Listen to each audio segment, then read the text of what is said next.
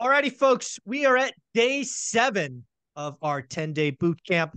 Uh, we've been through a lot together. This is going to be the show where we uh, we really can go lots of different angles based on your question. The intent of this show is really a couple of fold. One, again, much like Dion's conversation, we all start somewhere. We heard last week where Dion started with $300,000 in negative equity, was a single parent to three, 17 bucks an hour, and he made it work. With Matt, we're going to hear about being a ninth grade dropout. Didn't even make it past the ninth grade. Typically speaking, that does not set you up for success. So we will start with the struggle. We'll talk about um, you know things that went through that. We'll talk about the 08 crash and how it impacted him. But then we'll talk about house hacking. How important was that for him? We'll talk about something he uh, created called the 4321 strategy. And then, most importantly, and probably most of this conversation, we'll talk about oh, blank, you're a landlord. Because as you know, with the three amigos, Dion is responsible for getting people out of the parking lot into the stands. I try to take you from the stands to the field. And then once on the field, it is all this guy. So there is nobody better on the team that has a handle on what's going on as a self manager, uh, construction experience, and all of that. So, uh, Matt, there will be a lot of people watching this because just like Dion, I want to give this out to the world. Okay. Uh, so most people probably haven't heard of you and your story. You know, give us two or three minutes on who you are. So, well, good morning, all you hard workers. Good to be with you guys. Um, so my name is Matt, I'm the lumberjack landlord. Uh, I've been doing this for a little over 20 years. Zuber and I have about the same amount of time in the business. Um, we both lived in the dot com bomb, being working in tech. Um, we both uh, made it through 08, 07, 08 um, in different ways. Mike did a better job of making it through that period than I did. Um, but yeah, I started my journey, ninth grade dropout, uh, understood I was bored out of my mind in school, uh, very entrepreneurial. I opened my first business when I was 11 years old. Uh, I was mowing lawns and uh, delivering newspapers, and then I got into sports cards and started selling sports memorabilia. And so uh, I kind of always had a job and I always had, I always worked a ton. And I just, I really liked working because I really liked achieving things um, and, and being able to get things. And so um, when you finally, when I finally got old enough um, and I had a real job, um, I started looking at real estate because I didn't like the stock market. It was too unpredictable. There's, it's an inside job. You can believe what you will. Um, but I don't live in Manhattan. And so I don't get whisper numbers at parties. Um, so from my perspective, I wanted something that it was the great equalizer, which was it was about my market, what I could understand about my market. Um, I failed in a couple markets, I guess you could say failed. Um, I bought in uh, I bought a condo just outside of Boston, huge fail. Uh, I house hacked. I had a roommate uh, that that paid, and then I when I went to go sell, I got hit with a seventy thousand dollar assessment because it was a condo. It wiped out wiped out every dime of my equity um and so i was able to sell thankfully but and not have to write a check but i walked out of something where i should have walked with 80 grand and i walked with 10 um and then that, that was I, a special assessment right that condo? was special assessment yeah. The the previous contractor used the wrong type of siding for where the building was located close to the ocean. And he was bankrupt so we couldn't get any money so the special assessment. And so i tried house hacking that way but then i really liked that. I was like i can get a whole lot more house if I'm hacking. And I did it with roommates or a roommate in that particular case. Uh, bought a single family house, did the same thing with roommates. Um, but I was in my early 20s. Like I'm not unrealistic to and think single. And single. Yeah, single. Yeah, single, no kids, no wife, no girlfriend, nothing. Literally nothing. It just me and my career, just a workaholic. Um, and so I loved that and it was great. But then I got to a point where I was like, okay, I kind of hate having roommates. And so then I said, I need to do multifamily because I can live in my own unit and then the other two people living there in the other units can pay my mortgage. Um, and then I did my first one. And then I went to go do my second one, and the bank said, Oh, no, you can't do that. And I was like, What do you mean you can't do that? They're like, You can't go from a three to a four. I was like, What? Where is that ra- rule written? They're like, Well, now we believe that you're using our loans for investment purposes. And these were FHA uh... loans. Ah. So they said, We think you're losing it for investment purposes. I said, No, I'm trying to move. And they said, yeah, we're not going to approve that. So I learned that's that was what birthed the 4321 was the fact that if you go in that type of fashion where you start at the four, you go to the three, you go to the two, you go to the one, you can usually go across from a four to a four. You can justify that it's in a better neighborhood. You can justify it's a better commuting location. You can justify all these other types of things, but that's kind of where that came from. But um, fast forward now, um, 46, 137 units. We'll be up to 148 by spring next year because we've got two development projects we're working on. Um, well, we'll be at 148 or 160 something, depends on what gets approved. Um, but now I do, I've done everything. I've bought from every source you can buy from. Uh, I've bought from tax recoveries, I've bought from short sale, I've bought um, you name it, I've bought it. I've bought private, I've bought wholesale, um, I've bought uh, seller finance, I've bought 50 40 10 strategy. You name it, I've bought it that way, except for sub two. I there's things about sub two that make me uncomfortable.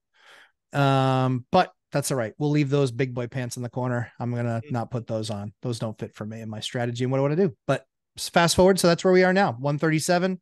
I self manage, and uh, my kind of plan is essentially acquisition, stabilization, optimization. Most landlords never get to optimization. Most are barely at stabilization. Um, and that's why the first five years sucks is because people really need to focus on how to get that asset really truly under control, stabilized, but now also optimize it so you then have greater returns. And then banks are far more likely to work with you and lend with you. Yeah.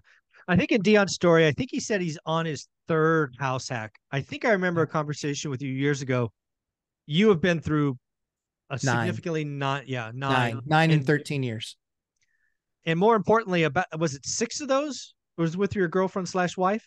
So uh Ashley? Five, yeah, five of those. So yeah, five of those were with um my wife when we were boyfriend girlfriend. She I didn't want her living with me. Okay. So when you were married, you went you yes. did that five times. Yes. Okay. Um was that always that was always in units? Yes. With her. Mm-hmm. Yep. Right. Yep. It was always in units. And so it was uh it was tries, uh tries and then a try and then uh duplexes. All the rest of them after that were duplexes. Um, so as you're going through your journey, why don't we kind of re- it, it's not all sunshines and rainbows. The first five years suck. We've talked about that a bunch. Yep, they do. Um, where were you sitting when the 08 environment just came out of left field? Where, what what what'd you have and and you know what happened next? A lot of debt I had. um, the uh in 08 when that happened. So I saw it kind of a coming in 07, but I did there wasn't anything I could do with it. I was fully leveraged. It was like literally watching a crane uh, train crash that you couldn't do anything about. And mm. so I was pretty pretty heavily leveraged. Um and was it all fixed rate debt? Sorry. It was, yeah. So not you didn't have any of these crazy ARMs. No, okay, uh-uh. good. I was right. always looking at my friends. I think I would have lost all my properties if I had those. Oh, I, no, yeah, yeah. So yeah. not having them save me, even though in the in the first two years before it, I was like, damn, I'd like some of that really cheap debt. That'd be great. Mm. Um, but couldn't get it and so for some reason or another I, I wasn't able to get it and so um yeah so we did that and in oh uh in august uh august of 08 i had eight paying units in september of 08 i had three paying units in october of 08 i had one paying unit oof I went 831. So I had one person paying their rent and the other seven decided not to pay. So I was in the position where I was literally saving up to evict people that was my option. So that's where you learn to do a whole lot of stuff yourself is when you can't afford to pay anybody to do it. Yeah. And you know that time frame for you that how long was that struggle? Was that like 18 months to kind of get to the other side where you finally could take a breath? Uh yeah, it was yeah, I would say it was probably a couple years. It's a yeah. couple years are really really hard and then it was I couldn't buy investment property without moving into it because I needed I needed to be able to buy it for three and a half or five percent down. Right. I, so I couldn't. I my option, my only option was if Outside. you want to grow your business, you're going to have to go live in it and fix it up while you're in it. But that's where I did 203ks. I did 203k okay. streamline loans. Um, I was doing those when uh, when Kevin was still working at Jamba Juice. I like Kevin. Kevin. No, yeah, yeah, 203k loan is is the way to go. So, um, yes. what for people that don't know what it is, talk about why why it's important, why you were able to leverage that to keep going. Yeah, so a 203K, there's two versions of it. Most people don't know that. There's something called a 203K Streamline, and there's something called a 203K. A 203K is basically a construction loan, um, but it's done on an FHA property. The only downside to those products is that they don't let you GC the deal yourself. You actually have to hire a GC. Everybody has to be a third party contractor. And so that makes it kind of challenging because that's one of the ways that I save. And that's how I learned construction was I was my own GC um, and so uh, which is a general contractor. Um, and they require that on those deals. So on the 203 203k, it's basically a construction loan. You get two numbers when you get it appraised. You get something called an as is number, and you get something called an as complete number. The as is number is as the building sits today. The as complete number is here's what the appraiser believes it's worth when the project is done. Um, then you're paying that three and a half percent down of the bigger number, right? Or the 5% down of the bigger number. Um, then there's something called a streamline, which is a limited at $35,000. However, that process, 35 grand, gets you pretty far when it comes to rehabbing a unit to make it go from gross to livable. Um, it's not going to give you all that you need to gut to studs, but it's going to give you all that you need to get a lot of stuff good and upgraded and taken care of for sure. Yeah, I wanted to talk about this more because again, I'm looking at where the opportunities are going to be for people today. Mm-hmm. And I still think if you're if you're playing below the median in most markets, not everywhere, but most markets, if the property passes FHA or VA inspections today, those are still moving. Yes. Probably shocking people how fast they move. Yes. But it's the ugly duckling. It is the ones that don't do FHA, the ones that smell bad, the ones that haven't been touched since the 80s. This is why to like if so I don't know if this is this can happen, but I'm going to ask. Can you 203k a multi-unit house hack? Can you live in one unit and do that? Yep. Ooh, that gets sexy. Yep. Yeah, that's what I did. I did two of them. They were awesome. I did 203Ks streamlines. I didn't even do the big, big full dock ones. I just did the streamlines. So you're buying well, multi units. Yep. You're moving in, you're spending yep. in the streamline up to 35 grand, which you get yep. in draws as works complete. Two two draws, yep. You only two get draws. two draws. That's where they okay. help cut down the costs. Because on the big 203k full blowns, it's like three or five hundred bucks every single time one of those guys shows up to give you a draw. And that's where the streamline comes in, is that you get um you get a draw in the beginning, and then is and uh when you start you know showing all these different pieces and parts and hey i've spent the money on materials i've paid deposits for contractors then you can are able to get that money. And then the next one you get is when the job is complete and they pay it off. All right. Yeah because i think i think where the opportunities you i mean every market's hard. Real estate investing is always hard. Mm-hmm. it's just a different kind of hard. Today yep. you've got to look for i'm looking for larger days on market. I'm looking for mm-hmm. non-beautiful properties below the median Yep. I'm looking for ways to add values, you know, buying twos, creating threes, right? Adding a door, a, a wall, a closet, you know, all of the stuff that you're well aware of. There's plenty of opportunity, but it just takes more work. And if you can understand the lending options on top of that, 203K, multi unit, fixer upper, you know, good stuff happens. Yeah, I mean, I think the the key to it is is that you know earlier in my career I was only buying off MLS, and Dion only buys off MLS. Yeah. And that's great, but it drastically slows down the pace by which you can grow. And no offense to Dion, it also drastically reduces the amount of deals you see and yeah. quite frankly, the home runs that you can hit. If you're only looking at MLS, you can still hit a home run. It's really few and far between, though. That's really hard to do. If you're getting stuff from wholesalers, from agents that do off market stuff, if you've done some sort of a little mailer yourself where you've driven for dollars in your area, there's all these different ways where you can create opportunity. And that is by far a better opportunity for anybody. And those are the deals. My my biggest home runs were deals that I either created myself or deals that um or deals that I got from a wholesaler. Yeah. You know, I my biggest I'm gonna make I'm gonna make a million dollars on one of my deals that I did with a wholesaler, and I bought it from him two years ago. I'll make a million bucks on that deal. Yeah.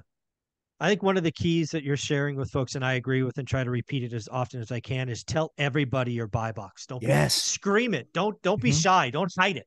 It's not nope. about competition. You just never know who's going to be like, oh, my next door neighbor's grandmother's dog walker. You never know.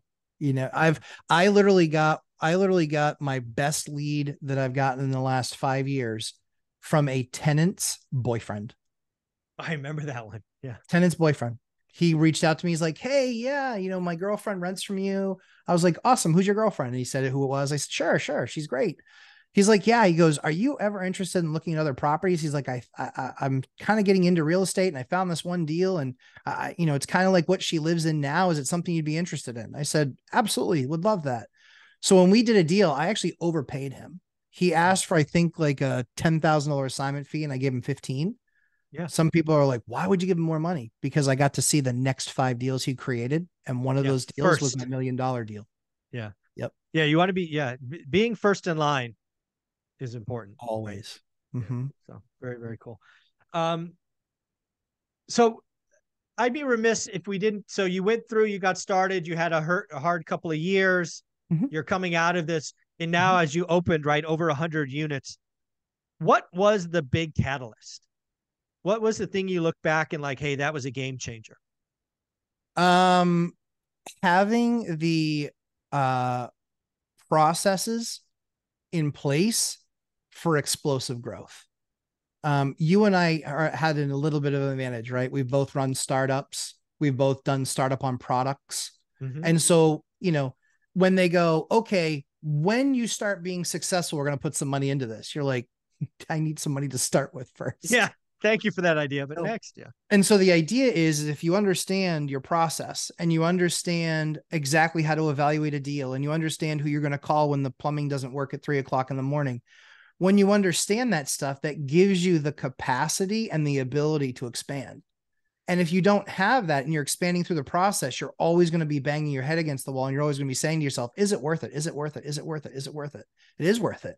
The issue is, is that most landlords are not business owners. And so they haven't put themselves in a position where they know what, what, where they understand what business owners understand. So I've run many small businesses. We've grown, I've grown them to 10, 20, 30 million dollars uh, for other people. Um, and so knowing what it takes to run a business, and that's really the key is understanding, you know, having processes in place, having the network in place, um, that allows you to expedite growth. And then it came down to the last step was funding. How did I get that additional funding? Well, my returns were great. I could show my bank and I shopped myself to my bank and I said, you guys aren't taking the gamble on me, but with a backing asset of a house. And those are the kinds of conversations that small banks want to have. They're in the community of the community for the community. It, you need to get them on board with what you're trying to accomplish. And there's small banks in all of our areas that are that their charter is to be part of the community.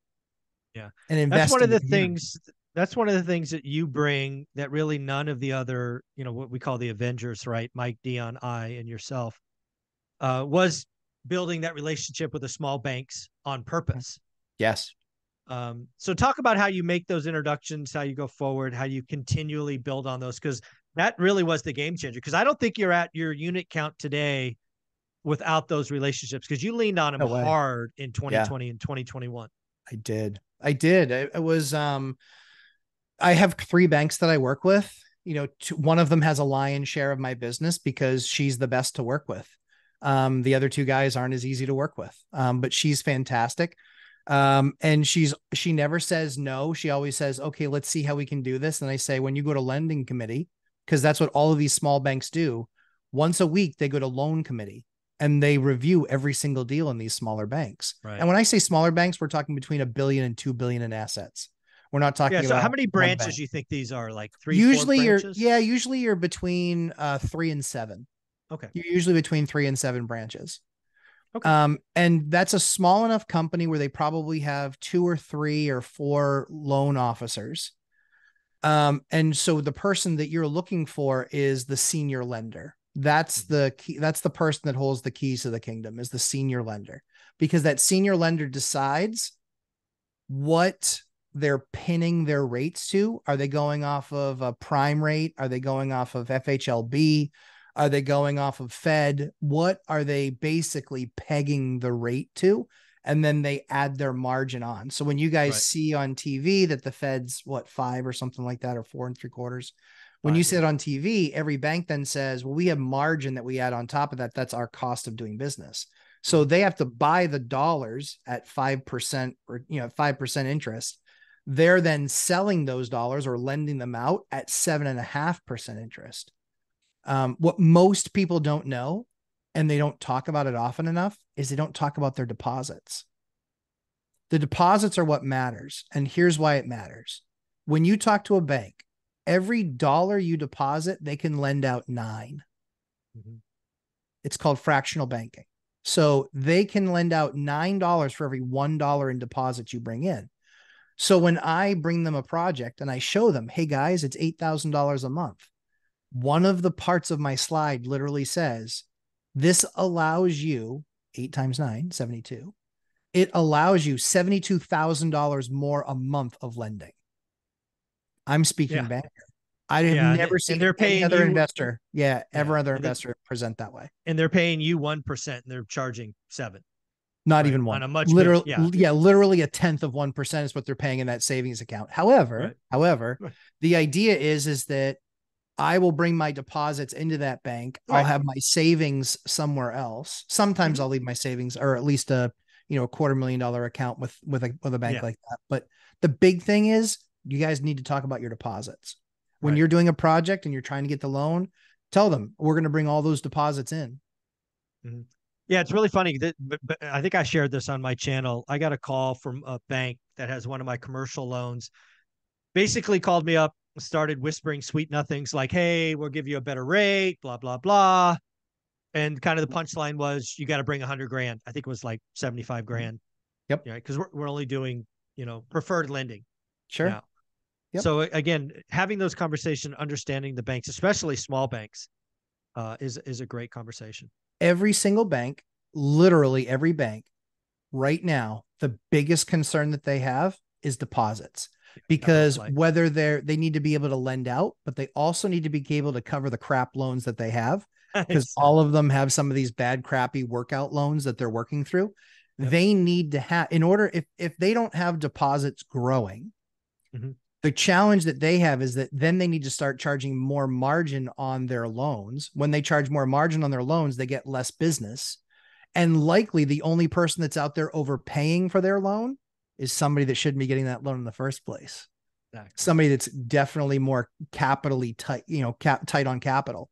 So for me, every conversation, I just I I got told yes by one of my banks two weeks ago on a deal. Two days later, they yanked my letter. They said, Mm. We're not going to do the deal with you.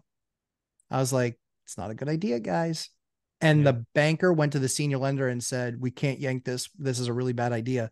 He said, I understand he's your top client. We're still yanking the deal. So they killed my deal. They didn't Mm. kill my deal. They killed my offer from that bank. I went and I shopped it and I literally told the other one because I have another project going on. I shopped my shopped with three or four other banks and I got a bank that basically reached back out to me and said, "We want it. We want all $20,000 a month of deposits that that project's going to bring in when it's done. Yeah.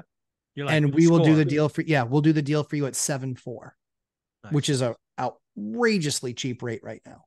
Yeah, good for you. Well, let's flip the script to why you're really here, and that is, oh crap, I'm a landlord. You're the hands-on guy, I am right? Yep. Uh, Olivia and I embarrassedly tried to paint a two-bedroom apartment one time. It was horrible. It had to be redone. Uh, I'm I'm decently handy, but have no interest in doing anything two and a half hours away, agreed. Yeah. one way, right? Not Yeah, a chance. yeah, yeah. So why don't you break down? You know, a why did you do everything yourself? Probably because you had to, and Broke. you know now it's yeah you're broke you're broke no money um but just talk about that experience and then why you're helping people understand even if you have a property manager like me you're helping people how understand how not to get ripped off um so talk about all that Yeah, I mean, it, you know, you guys can check out the course syllabus that I have, but basically it just talks about how to interact, how to do all the things. You know, I was sitting at the closing table on my first deal.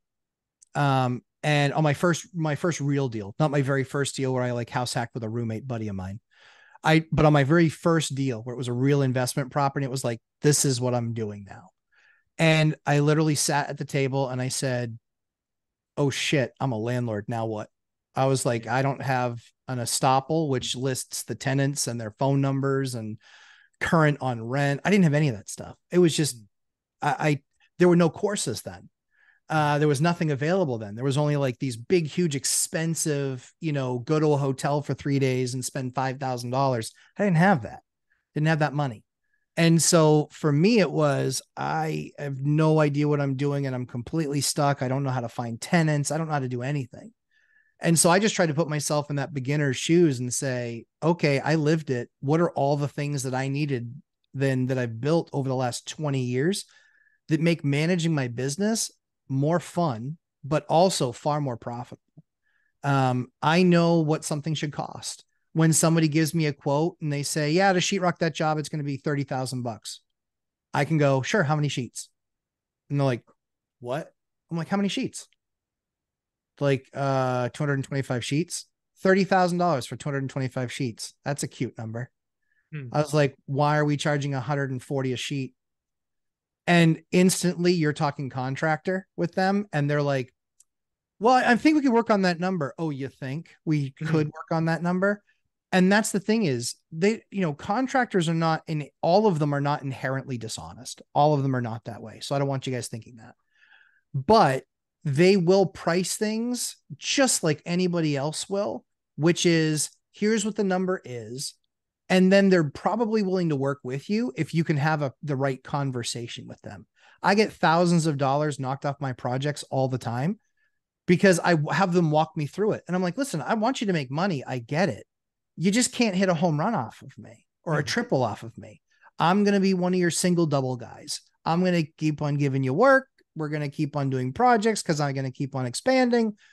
But here's how we have to do things. Here's here's where here's what's fair. So we negotiate rates, we negotiate price per sheet, we negotiate, you know, painting and how that works. Who buys the painting? You know, they're like, well, we'll buy all the materials. You can open up a trust, which you should have your properties in, at least a trust or an LLC, either one. But if you have them in a trust, you still have an EIN number. And that EIN number can be your social, it can be the EIN of the actual trust itself. But then you can buy everything at at at a contractor price, which might be 10 or 20% off. So not only are you getting 10 or 20% off of retail, but you're not paying them 10% to carry your cost. Why would you want to do that? So you can save 20, 30 points uh, percent on even materials. So that's where the course came from was I wanted to help people my projects now inflation adjusted. My projects now cost me a whole lot less than they did years ago because I know all the ins and outs. I know how to speak construction. And I'm not a construction guy. I, I just learned the trade and understood how deals were negotiated. And you don't want to be the person that's just like, you can do it for less. You can do it for less. You can do it because you're going to find your level. You're going to find bad contractors that way. You want to find good tron- contractors with good uh, that they can count on you. Like as soon as my stuff passes inspection, I show up to the inspection with my checkbook with the contractor when the inspector walks us through and he goes, Nope, I think we're all good. Just change that one thing or fix that one, one or two things. That guy, I said, fix those now. We'll take a picture of them. We'll send them an email to the inspector. I'll pay you. It's just that simple. I pay yeah. right away. And they don't, it's not this net 30 stuff. Most plenty of contractors get burned. Absolutely. That's one of the big things I've done my whole career for for big jobs. Anything at the, in the beginning, anything over a thousand bucks now, a couple of grand is pay upon delivery, right? Once yep. it passes inspection, yep. it just get it just you jump to the line, and then when you have a storm or you have something else, you get a little you get a little love. You you get yeah. to go first, right? Sure. It's it's it's a people business, as we keep reminding folks. Absolutely. What one of the big things I want to do before we go to questions, remember, folks, you're going to get to ask your burning desired questions of the lumberjack in a minute. So raise your hand. I want to go through the big items, Matt. Yeah. And just help people understand rough costs. Now, these are obviously rough, rough costs for you. Yep. But I think it's important because one of the things they're doing on their spreadsheet is make ready, right? Yep. What I call an A is zero, it's turn, it's ready. B is, you know, paint and carpet. C is kind of full gut. And one of the things I, I want people to remember, I think this was, gosh, this might have been 18 months ago. I told you about a one of my apartment buildings. I was putting on a massive roof. Yeah, like 66 square, I think it was. Yeah. You you asked yeah. me, you know, how big. I had the quote in front of me. I told you. You you quoted it within like 200 bucks. Yeah. It was close. It was I mean, I was shocked. It also made me feel better that I got a great deal, but that was that's a different story. um, but let's walk through a house real quick. Let's make it a house. Sure. Um, let's assume it's fifteen hundred square feet, just so we kind Sure. of level set. Um, painting an exterior of a house. Uh, let's say you know two different colors, right? The base color and the trim. Mhm. What's a what's a kind of rough number you would kind of just ballpark for folks? Yeah, usually you're about six bucks um, for a, for a decent painter. Usually you're about six bucks a square foot Okay. um, on the inside. On the outside, um, because on the inside you have to do trim. Uh, you know, you have to do your your doors, you have to do your baseboard, you have to do all that stuff. So usually inside, uh, six bucks. I mean, again, test your market. But when they come back at six bucks, these are the numbers that I carry when I walk through a property. So I walk through a property and I'm like, okay, the building is 3,200 square feet. It's going to cost me, you know, at the high end retail, it's going to cost me 18 grand or, or, or 19, 19, uh, two, um, somewhere around there. And then, and then I know that my number is probably closer to four, four bucks a Okay. square foot. All so that way I know, okay, this job's going to cost me about 12, 12, 13,000 bucks. Um, the other key too is, is that when you're quoting, when you're, when you're getting the quote from them, say, I just need to understand how much material because I already have a contract with Sherwin Williams or Benjamin Moore or whomever, uh, and I'll buy the product for you. Just tell Right, me so what you're is. just labor. Yep, just you're labor. just labor, which means for them now it's your responsibility to get the product to the site. But most of these places offer a delivery. Yep. So just make sure, and that way you have you can have a literally a handyman check up and make sure.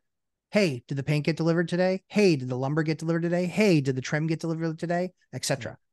Okay. Um. So yeah. So on painting, yeah, you're looking at you know four to six bucks a foot, depending on uh depending on what you can negotiate. and that obviously doesn't you know take into account you know busted up walls and drywall repairs you know just Correct. just basic stuff Yep. if you're going to do the outside are you like four or five bucks a square foot yeah are you're you're about? probably yeah you're probably about yeah and you could be three to four um because again that that job can be a whole lot easier because they can yeah just plastic bigger off the they can plastic off the windows and then they just spray the entire thing and then they go back and they cut in white yeah exactly exactly. So Okay, yeah. let's go to flooring. Um Yep. you know you want to put carpet in the bedroom. What are you thinking? Why? Well let's so, no carpet in the bedroom michael. No Okay, we don't so we we don't do any carpet anywhere only on the stairs and we use eight pound pad. Because what you'll find is if you ever go to court the judge will say well the carpet's five years old. It's basically reached its life expectancy. It's on you. They actually give carpet a life expectancy of five to seven years so very often if you end up going to court or evicting somebody and quite frankly if they had pets it's largely speaking carpet's a bad idea. So we always use lvp our lvp Good. price is usually about 250 a foot Mhm. uh, a square foot. And then we can expect to pay between depending on what we need for an underlayment sometimes we want to go with like a cushiony cork. Others we're trying to reduce uh, noise. Um, others we're just saying hey based on what the subfloor is it might be concrete we're going to use a different kind of uh, non antimicrobial so we don't end up with mold if there's any moisture and things like that so you could be 50 cents to a square foot uh, based on what you're going to do for flooring um, and then installation uh, you can find people that are willing to charge you as more much as three or four bucks a square foot. Um, and you can also find crews that will show up in a van. It's usually uh, Vietnamese crews, is what I've found in our area, that will show up and they'll bang it out. They'll start at eight in the morning, they'll go until 10 o'clock at night, but you're done. And then they end up they end up being around a buck 75 a foot. So you see the difference in size. Now, is there going to be something that you're going to have to have your handyman two or three things, four things the handyman has to go back and repair? Yeah, probably. It probably, but at that buck a foot or two bucks a foot savings, the handyman's really cheap compared to paying for the guy that does a perfect job on the front side. Right. There's usually Okay. two or three small issues that I can fix. Uh how about windows a lot of older homes uh at Yeah. least in my area need new windows what do you what do you pay for windows and Yeah, windows windows you're usually looking for uh, you know, about a hundred bucks a window for install, but then you're looking at another, you know, hundred, little over a hundred when you want to trim that window out. And then it's just the cost of the window. And that can vary from a, you know, a um a $99 special all the way up to a um, you know, what's called an STC rated window, which is you start at 100 decibels, it's minus 35 decibels, so it's only 65 decibels, which means it's 100 decibels outside is only 65 inside and 100 is pretty loud. So if you're in a high traffic area, double yellow line, Um, there's a lot of construction around you, i.e., like a dumpster company or something like that. Um, you want to go with a higher end window, and that window might cost you six, seven, eight hundred bucks. Um, but you can get a normal standard window, which is an Energy Star window. Um, you can get something that is uh, what's called argon gas Energy Star. Um, and that's kind of your base window that you want to use. Don't use the cheap cheapies, but those will run you. Mm, they're semi, they're basically custom windows, but you can find a local yard that builds them as opposed to like a Pella or an Andersen. Um, if you do Pella or Andersen, take the time, multiply it times 2 mm-hmm. Yeah, long long lag. Yeah, long long lag and big dollars. They're paying for all that advertising that we see for all those ads. exactly. All right. How about doors? Right. There's obviously a difference between interior and exterior doors. What do mm-hmm. you what do you got for doors? I like Therma-Tru doors. We use them almost exclusively on the outside of our stuff. Um, they run between five and six hundred bucks in standard sizes. You can get a nice, stylish door. Um, it's not metal. It's actually a composite. It's a nice door. Easy to clean, easy to paint. Um, it'll last probably 50 years. Um, those range depending on size between five and 700 bucks. Um, you can get those at a lumber yard. You can also get them at a big box store, but I like them at a lumber yard better. Um, and then interior doors, just pick a style and stick with it. So yeah, we use something called a Craftsman three. Um, we know that door costs us between 280 and 350 bucks, depending on the size. And that's the only door that we put in everywhere. So we've deployed 200 of those doors and we probably have another 200 to go. But that's a solid core door if you're going to punch my door, I want your hand to hurt. Yeah. So solid core. Yeah. That solid core is going to likely break a knuckle, break a finger, at least leave you with a bruise where you're like, man, did I hit something? Yeah. I punched yeah. the door. Yeah. Yeah. Idiot. Stop. Yeah. Stop punching my doors. If you want to punch um, my stuff, it's going to hurt. Yeah. So let's go to the bathroom, right? You're buying a lot of stuff. Uh, so you go to a bathroom, it's got to be a full gut. What are you, what are you looking at doing? Let's assume single sink, uh, yeah. full bath shower combo. What are you doing in there? Yeah, vanity's two to five hundred bucks.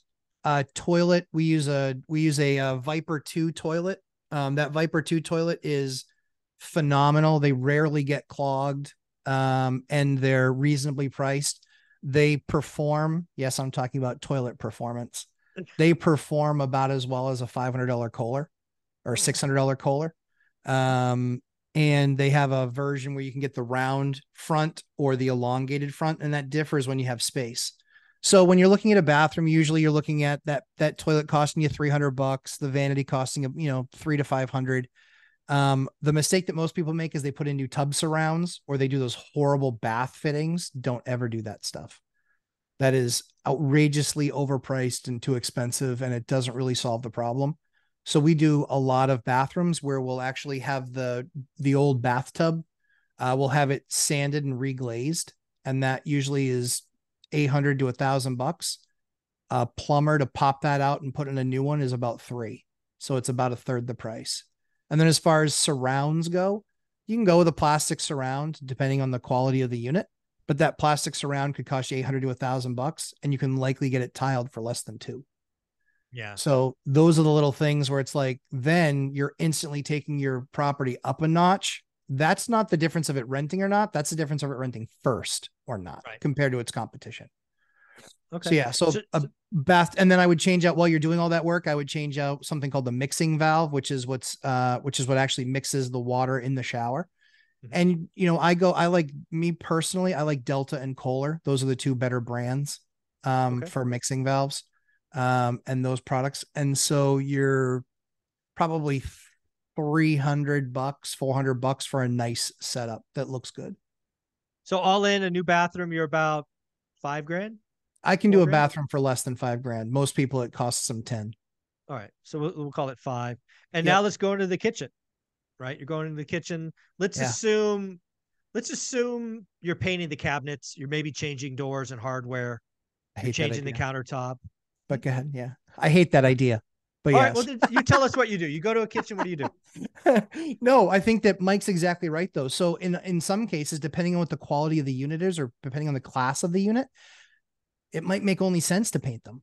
That's yeah. So I mean, I got to tell you, at least maybe it's a California thing. A lot of the boxes of the units I buy are solid. Yeah, they're custom they're made. Certainly better than I could buy today off the shelf. So that's why Yep. I'm usually replacing doors, painting, and moving on. So So curious, Mike. So, uh, and not to put you on the spot, but in a typical kitchen, Yep. what are you spending to paint, redo doors and handles, and and hinges? well, I've never seen a breakdown of just that, but I would guess that's probably 2200 to 26, I would guess.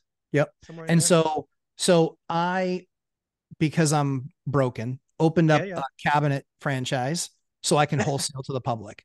So I the remember. people in my lumberjack course, they actually get to buy wholesale cabinets, and so I'm doing kitchens for three grand. me okay, when you brand say new a kitchen, boxes. So Okay. boxes. So all the uppers, all the lowers.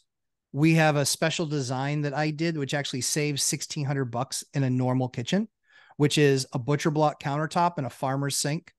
Mm. It's a different look than all of your competition is going to have, but and it looks more expensive. It saves you sixteen hundred bucks. all right. And so those are the kitchens that we put in. So I do um I do kitchens for 5000 bucks. And no company you can you walk into and you're going to get a quote for 10 to 12 or 15,000 dollars. Yeah, I think kitchens in my apartments are 7500 to 8 grand and they're, you know, they're Yeah. Not not We can do- family kitchens. Yeah, we can do them for and we can do them for 5, you know, because Yeah. we're doing the we're doing the cabinets of wholesale and these are these are solid wood cabinets. Okay. they're they're high quality they're slow closed doors slow closed drawers um you know they they are they are not cheap The uh, to give you an idea these are the same cabinets that i put in a $800000 house i did Mm. Okay. for me I, like it. Love the cabinets they're awesome Uh, and I guess the only other things to talk about are the outside. I don't know what you you know, for me in California, fit yeah, landscaping, fencing, fences are a big deal out Yeah. here. They, you know, the sun beats them up. Um, What do you got out there? So fences, usually you can find, you know, the big thing is is calling dig safe. You know, I don't know what the Yeah. what the version of that is where you guys, but if you call dig safe and you see there's no lines and it's a pretty easy thing, then you can easily hire just like a labor crew and they can measure out eight feet between. And then you're looking at about 130 a panel uh for the your typical PVC. I like the PVC stuff because it'll last forever. But the PVC in the sleeve, if you figure about 200 bucks for every eight feet, you're going to be in pretty good shape. And then you just figure, because that's going to count your two by four or your four by four, excuse me. That'll count your four by four. That'll count the panel. That'll count the cement that you need after you auger the ground and pour it. So if you figure about 200 bucks for every eight feet and then just figure out what labor is, usually guys that do that stuff, they can do eight, 10, 12 panels in a day. Pretty straightforward. Yeah. All right. If, if it's a crew of three. Very, very cool. Um, any again, folks, you're going to get to ask questions. We're right around the corner from this. Gina's going to be first. She's the only one with her hand up. Come on. Guys gotta be Consenya's asking- open raise their hand, so I'm ready to Oh. answer their question as well. All right, very cool, very cool. Um, Yeah. But any other thoughts as we wrap this up? You're the hands-on guy. Yeah. Uh, any things we've missed uh, before we get to the question? It really it really comes down to understanding what some of things should cost, understanding what your market is, understanding having processes in place. Mike's buy box is brilliant. And when you couple that with my rent box on top of that, it guarantees that you won't do a bad deal. If you do buy box and rent box, you won't do a bad deal. That's how powerful those those two ideas are. Um, but yeah, when it comes to managing your property, I think it's really important because you know Mike does that job of getting f- people to to make take the plunge and buy something. The key is is that you're going to own that asset for the next 10, 15, 20, 30 years. So if you manage it like I manage my assets, they actually go up, your rents go up, you stay in front of the market. Those processes become critical to making sure that you're optimizing your portfolio because it's a whole lot easier 10 years in to have done half as many projects but get twice as much yield or or, or return on capital out of them than it is to have to buy twice as much and not manage them properly. And then where are you? You know, you're likely at that point if you have to sell something, you're going to have to sell something and take a hit for the projects that you didn't do because you weren't charging enough rent. Um, so really my process lends itself very well to sustainability and growth. And so I have stuff that I've owned for 10 and 15 years now that um most of my early stuff is gone, but the stuff that I've owned for 10 or 15 years now, you know, I make twice what the mortgage is on it. Mhm. Like Yeah. you can't make up for longevity. And so everybody, a lot of people that have looked good in the last three years that aren't going to look good in the next three. So the idea is you really have to build a sustainability in your portfolio. And the way that you do that is by managing and controlling costs.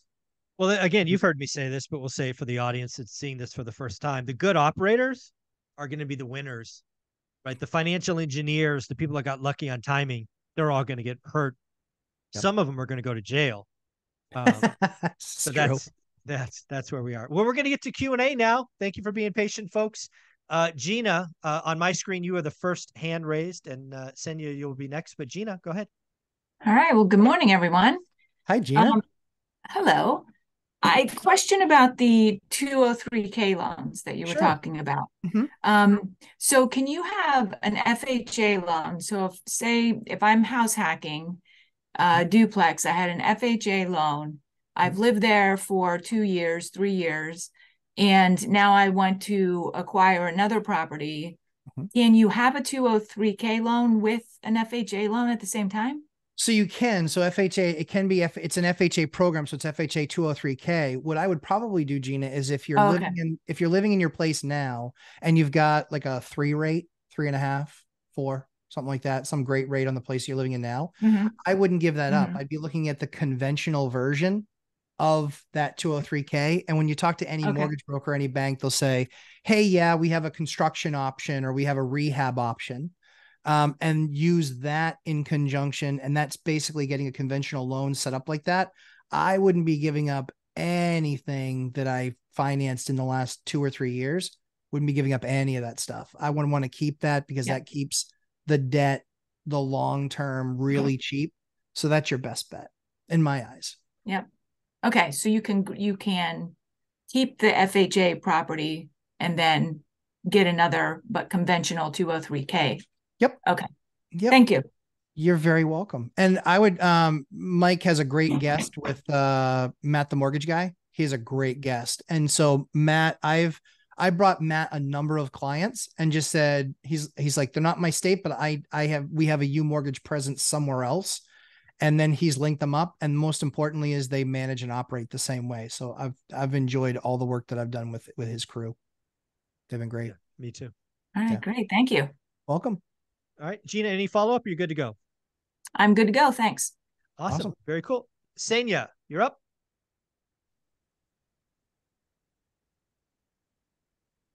Okay.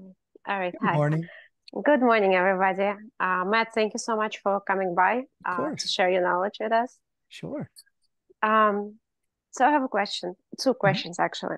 Sure. Uh, first one, um, every real estate agent I speak to uh, tells me that uh, during the sessions, right, uh, homeowners uh, lose their homes and um, create a larger tenant pool, which makes sense, right? So I just wanted to hear your take on it, especially that you sh you shared with us like a little uh, different experience, right? Mhm. When you actually lost paying tenants during a 2008 crisis. So just wanted to hear your take. Why is there such a disconnect? Um, I would I would venture to say, as kindly as I can say it, those agents probably don't own any investment property, and they're only speaking on on feelings. They didn't actually experience it. They don't actually know. What ended up happening in 08 was rents in some areas did go up because people were losing their homes, they were leaving their homes. Any any realtor that believes that now doesn't hasn't worked with a bank on a high enough level where they understand how banks operate. Banks do not want to take back those homes. Banks absolutely do they are going to be doing workouts 40 year mortgages they have a number of other options that they can do for folks last time they recognized that was the biggest issue that they had was taking these things back because they would take something back that was $250,000 was owed on it and they were getting 120,000 bucks when they sold it and so the bank was having to write down 130 grand that's why all the banks got in so much trouble and so this time around, there's going to be people that it's going to be posted on auction sites. It's going to be saying it's in default and going into foreclosure.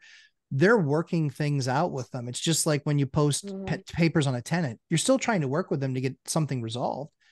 And some of them end up in eviction. Some of them end up with them leaving. So I think you're still going to see foreclosures. I think you'll still see, I don't think you'll see any short sales because everybody that owns anything, it's worth a lot more than what they paid for it.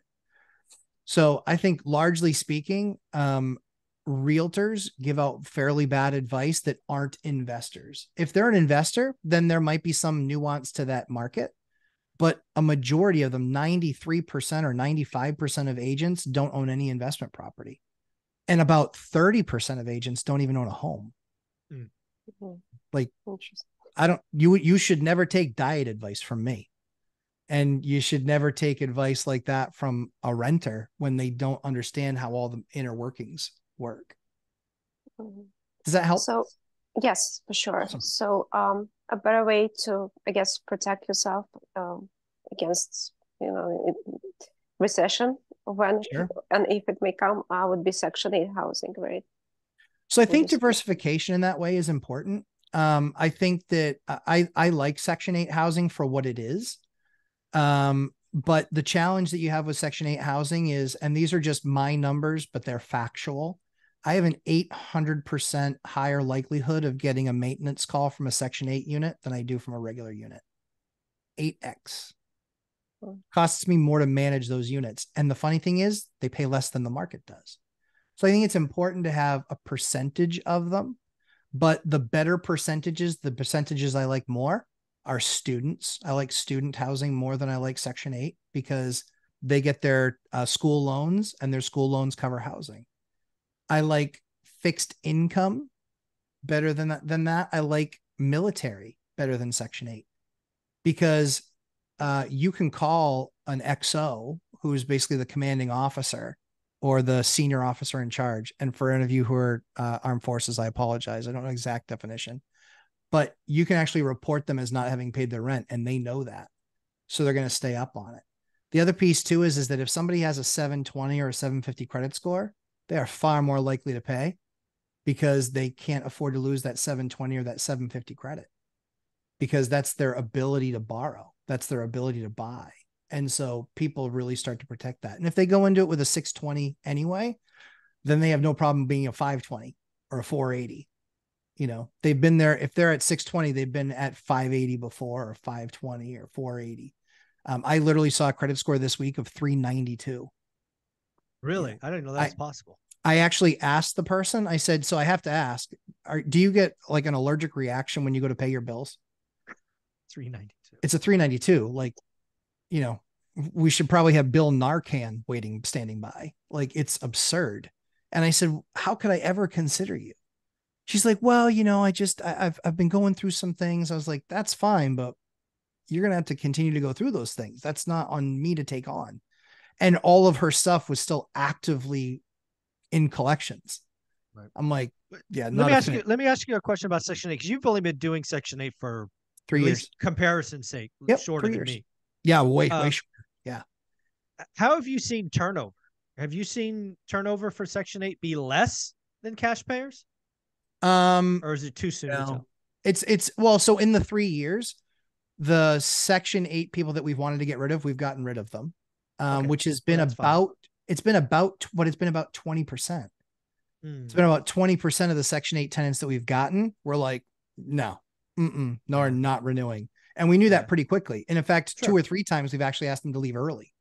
We're just like, hey, this isn't working out. We've called the housing authority. We're just like, this isn't working out. This isn't going to work out long term. Right. Um, and so um, from a market perspective, um, the thing that that's where we instituted um, a, a lot of the evictions that we've done were not tenants that we picked; they were tenants we inherited. you inherit it. Yeah. Right. Yeah. What I would tell you about Section 8, having had Section 8 tenants for 22 years now, once they're in houses, they almost never leave. My experience. I'm talking eight, nine, ten years. Section 8 in apartments, a little bit more turnover, right? Because their goal, not speaking for them, but based on experiences, they want to go from the apartment to the house. Once Section 8's in house, my experience, they stay for, you know, seemingly a long time. Yeah. I think um, we've seen it range. Um, you know, we've but we've had, um, like I said, it's just a higher hit rate of issues. Okay. It's just been for us, and so uh, Yeah. I I didn't have a handyman. I did almost all my own stuff, and Right. now I have to have one because they also are the first ones to call code enforcement. They're the Sure. first ones to call housing. and Yep. it's not on big issues. We got them calling, well, a piece of my backsplash fell off. Okay. Like no one died and no one's at risk of death. A piece of Right. backsplash fell off. Yeah. You know, Okay. Gotcha. Senya, do you have a follow up question? Um, I have another question. Yes. sure. Okay. Um, should be quick. Um, Mhm. how do you find real estate wholesalers? Like I did a little Oh. search online and I didn't find much. Maybe I didn't. Yeah, so I would look at so great question. So we um for me it is I've I talk to everybody. So I talk to new agents all the time. I'm just like, "Oh, hey, do you know any wholesalers?" Um I also get those um cards in the mail where they're trying to buy my properties. And there are tons of those and those are almost all wholesalers. So the cards in the mail that you get, you can also talk to other landlords and landlord groups. They're they've likely bought from other wholesalers. You can also because a lot of them aren't big enough businesses; they're like smaller guys who wholesale. Um, and so you can look up on Facebook. Um, that's what I've done. Facebook groups. There's actual wholesale Facebook groups. And you're like, hey, I'm looking for wholesalers in this area. Yeah. Um, so you can do. that. That's what I've I've done all of those things, and I've got probably eight or ten. Yeah, I think there's two ways to find wholesalers, and again, they're your job will be vetting the good ones versus the bad ones because it's easy to call yourself a wholesaler, Senya. So I would do the. Facebook thing. Uh, I would also what where I think you get a lot more traction is a local REIA real estate meetup. Yep. You know, usually at those meetups, they'll you know at the beginning or the end, usually the beginning, they'll say anybody looking for anything. I would just stand up and saying, hey. I'm a new investor. Here's my buy box. I'm looking to meet three new wholesalers today. You know, hopefully they're in the room, and I think you'd be swarmed. Yeah. Yep, they're they're not hard to find, right? Especially right now. The challenge is is that it's not to believe that every wholesaler that brings you a deal is a good deal.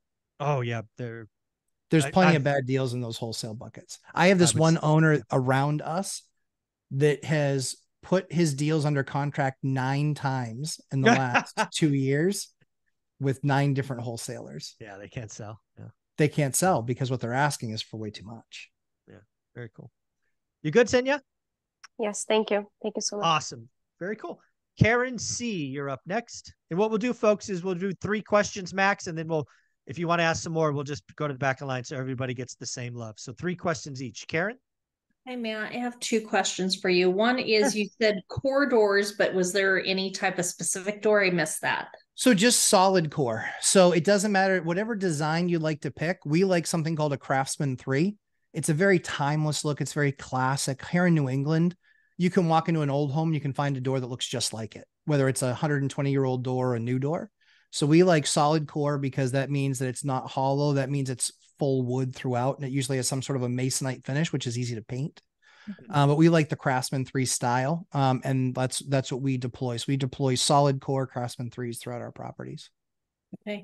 My second question, and I asked um I asked Dion this last week as well, is what do you use to run someone's credit?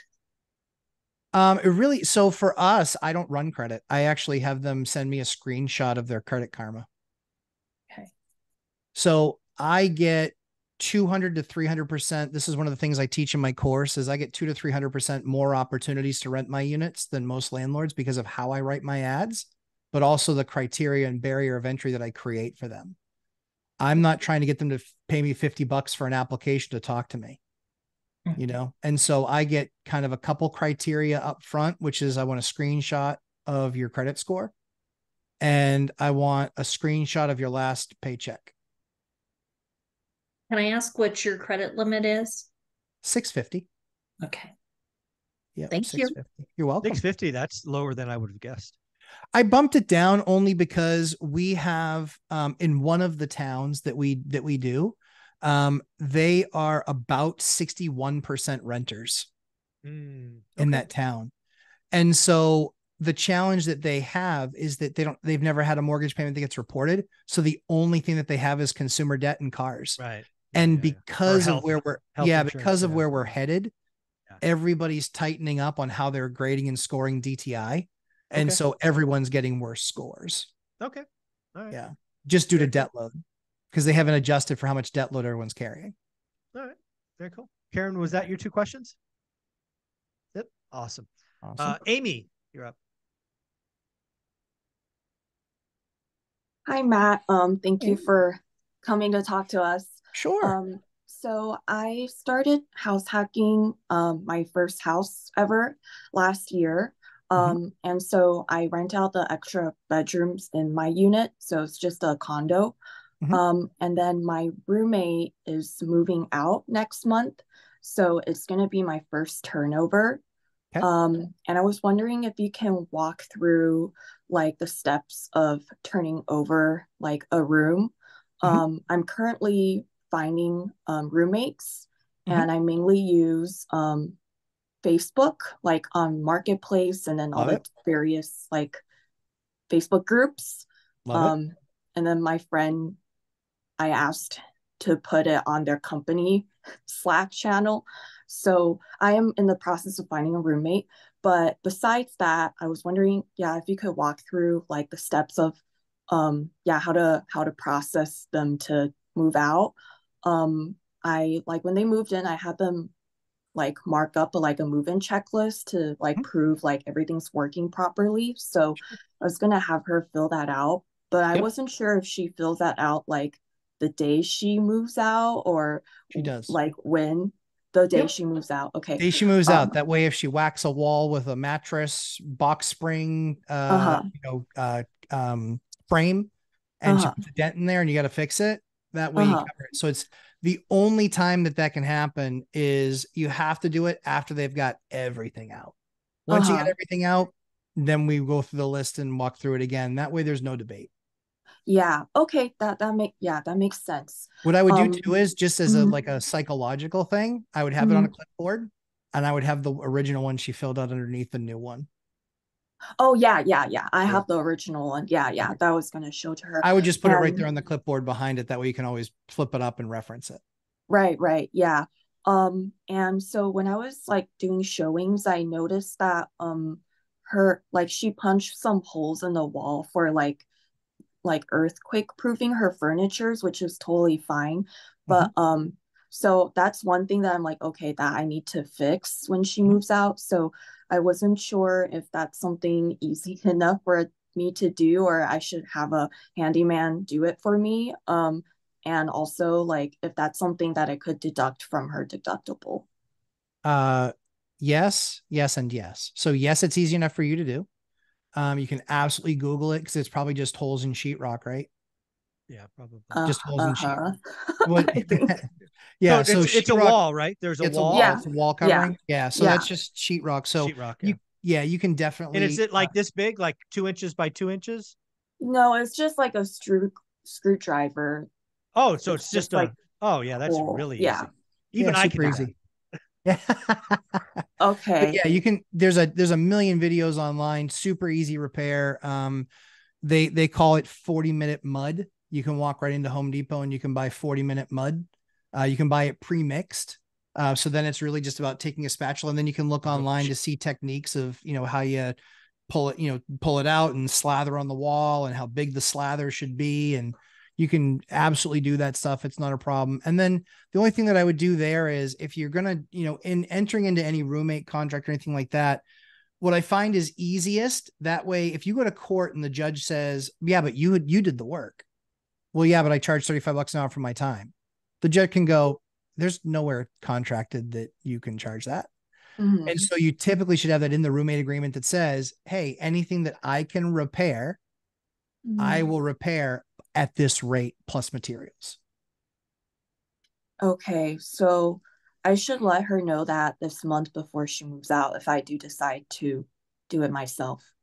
Mhm. Like, well, I mean, hey, either I mean, either way, you can say, you know, it's gonna it's gonna save. So you wouldn't be able to double dip. So as an example, if you do the job and you hate the job you did, you Right. can't charge her for that and charge her Mhm, for the some right. for the person Well, that comes in behind to mhm. do a Matt, good job. Matt, quick question. Yeah, Quick, good. Uh, the, the other thing she could do is it could be up to the tenant to repair, right? She could say, "Hey, I've noticed that you earthquaked your dresser or TV or whatever. Um, you know, do you plan to repair that before you leave? Because as you know, when you moved in, that hole didn't exist. Mhm. So, not knowing the tenant's capabilities, it's possible that the tenant could repair that as well. Yeah, you could. I mean, that's one of the things that I used to have read in my lease, which was you need to have something professionally repaired. you know Mhm. and so that way that way they're not like well i went around and i filled all that stuff and you're like it looks awful what do you mean Yeah. of Mhm. course you're gonna have to pay to do that the right way so you know we i obviously you know having contractors that were friends of mine that live with me I, I wasn't a stickler about it. I was just like no i mean you're a contractor. I'm not gonna make you buy to have somebody else do it. Like you can do it but i expect i expect the job i saw three weeks ago not the one i saw three months ago you know? So quality of work. But yeah that's what i would do. I, I would i would just let her know hey you know you're, you're more than welcome to you know get somebody to do that. However if i do it i'm you know just gonna Right. you know again that's where i have that in the roommate agreement. Mhm. so they Mhm. know what the cost is going to be up front. Now if you don't have that in the roommate agreement Mhm. it'd be tough to sue them and get recovery you know that that in that particular case you'd actually have to hire somebody to do the Mhm. work to then give her the invoice to say it was done by a pro so if you add that piece about you know i have the right to repair at you know and at 30 bucks an hour or something like that you just have to have a roommate agreement before somebody signs Can't do it after Okay. Yeah, yeah, because we already we that that wasn't in my our lease. I didn't think so. agreement. It's But next time. Next it's time. not in most i'm saying next time it's a good thing to Mhm. have in there you know Okay, so I should, if I could, I should try to do it myself and just let her know or ask her if she wants I to. yeah, I think fix. Amy, the first step is to ask her if she intends Yeah. to repair those before she Uh-huh. leaves, to pay someone to repair them. yes 'cause Uh-huh. Unless she's a contractor, because maybe she's planning to pay it, or maybe she doesn't even know. Yeah. But you know, those those holes didn't exist. So sometimes it's just communication. Uh-huh. Okay, yeah, I'll I'll point it out to her and see if she can fix it, and if not, I'll just tell her Yeah. like how much it would be to fix it. Yeah. If I did it myself. Yeah, because we have a pretty good relationship, so I don't Yeah. think there's gonna be any contentious situation. Yeah, you, you've got to for put it back to the condition it was when she moved in. Those holes didn't exist. The Mhm, next person has a choice. I mean, it, it should be a Mm-hmm. reasonable conversation. mhm, Yeah. Um, and so, uh, yeah, okay, thank you for answering that. And then Sure. besides that, is there any any other steps in the move out process that I should do in any order, um, besides those things? I don't think so. I think really the big thing is is you know making sure that there's agreement of what the unit needs to be essentially for you know her to get her deposit back. Um, where are you located? What state? Um, in California, in Okay. the Bay Area, so Okay, so I don't know what the rules are as far as deposit returns. Mhm. Mike, what are those? I don't. Well, I, I think, think you I have a have 30 day, 30 days. yeah. Mhm, No, I think yeah. yeah. But you know, going, it's a friend, it's a roommate. You know, assuming she's working with you. I mean, I'm not opposed to, to giving it up. Certainly, if it was a roommate situation, having the money available that day or next day. Um, But yeah, I think you have 30 days. Yeah, the only reason I ask Mm-hmm. is because if you hire somebody to do that work, you can't just give the Right. security deposit back until after the work is done and you have an invoice. Correct.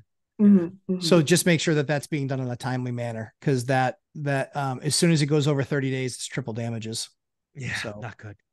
Oh, okay. Yeah. And it's not triple damages on the uh, it can be on the entire deposit. So if you don't return that entire deposit within Mm. 30 days, they can take you to court and it's open and shut. They're just like, I didn't get my Oh. deposit. It Mhm. wasn't postmarked within 30 days of my moving out. Wait, I, I have to pay them three times the deposit? Is that what you mean? Oh, called Triple, Yeah, yeah. If treble you didn't damages. return it. If you didn't triple. return it. Uh, uh-huh. Yeah. If you didn't return it. Um, That's where a lot of new landlords get got there because they don't know that rule. And so they're just like, Mhm. well, I was waiting on somebody's bill or I was waiting on this. You Mhm. have to make sure mhm. that it goes out within 30 days and then it's an itemized list of everything that you did and the cost associated with it. Mhm. Yeah. Okay. Anything that you deduct, make sure there's a line item.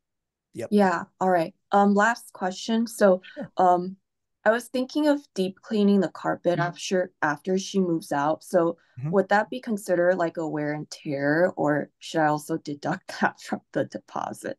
Did you do that before she moved in? Mm-hmm. Well, it was brand new carpets, so not not really, but it was brand new carpet. Yeah. How long has she lived there? A year and a half, a lo- mm, like a year and yeah, almost a year and a half. I don't know, Matt. What do you think? I would, I would, I would have it cleaned. I would have it cleaned in charge. I would have it cleaned and probably not charged, frankly. Yeah. I mean, if it's you got to be really careful as a landlord, Mhm, in my opinion, right? There's just normal wear and tear. They've paid you rent for 18 months. You mhm. know they're going to be walking on your carpet. yeah. It's not yeah. like they broke the rules and had a dog or a cat or a rabbit Right. living in there. That's Uh-huh. a totally different situation. Yeah, yeah. But as far as a dirty carpet and wanting to make it look good for the next tenant, Mhm. I would absolutely deep clean it. But unless there was something like she, I don't know, kept food under a bed or something crazy, Yeah. I would not charge for the deep I'd- cleaning personally. I'd put that in your roommate agreement. That that hey, when uh, you're you're getting it perfectly Uh-huh. cleaned and professionally Mm. cleaned, Ah, when you there go. leave, I need you to Okay. professionally clean it. So go. that's the same thing we do in ours. We ba- you know, so the few units that we have that have carpet, um, you know, we basically say, hey, we had it professionally cleaned before you moved in. So when you leave, we need a receipt of it being professionally cleaned. Mhm. Okay, We've had yeah. somebody trying to give us a receipt for a company that didn't exist. Yeah. Oh, Oh. gosh. I Wow. Oh, that like- would be difficult for me to have Yeah. to handle that. Okay. Since I think probably for the carpet cleaning, I will not charge her. I'm kind of on team Mike for this one, but if I like in the next agreement, maybe I could put it like how Mike Yeah. Matt put it. So it's like the expectations already set. Yeah, look at the look at the profit. Right. So to get that per- properly cleaned, it's gonna be 150 bucks. Yeah, it's a small Mm. room, probably. Yeah, but but but if you have a company come do it, they have minimum charges. So my Oh, yeah. guys, no matter what, they're showing up, boom, 150 bucks, and then it goes up from there based on size. So Mhm. if you do that, you know, over the course of every single time somebody moves out, and you figure what your percentages and what your returns are, Yeah. Yeah, a, you're right. probably a pretty big return. So I would just have it in their agreement that when they when you move in, it's been here's what it is: it's prof- professionally cleaned, the carpets have been professionally cleaned, you know, the walls have no defects, the doors have no defects, and you know it's your responsibility when you move out that all of these things are Bingo. basically redone again. I Mhm. like that. Yep. Okay. Yeah, because I was at my apartment that I moved out of. uh, That that was how they did it. So that's why I was like thinking of that. But Mhm. okay, thank you. Thank you both. You're very Very welcome. cool. No problem. Uh, Van Reeth, you're up. Hi, Matt. Thanks for having this uh meeting. Um, Happy to. yeah, I, I like the shirt too. Oh, thank you.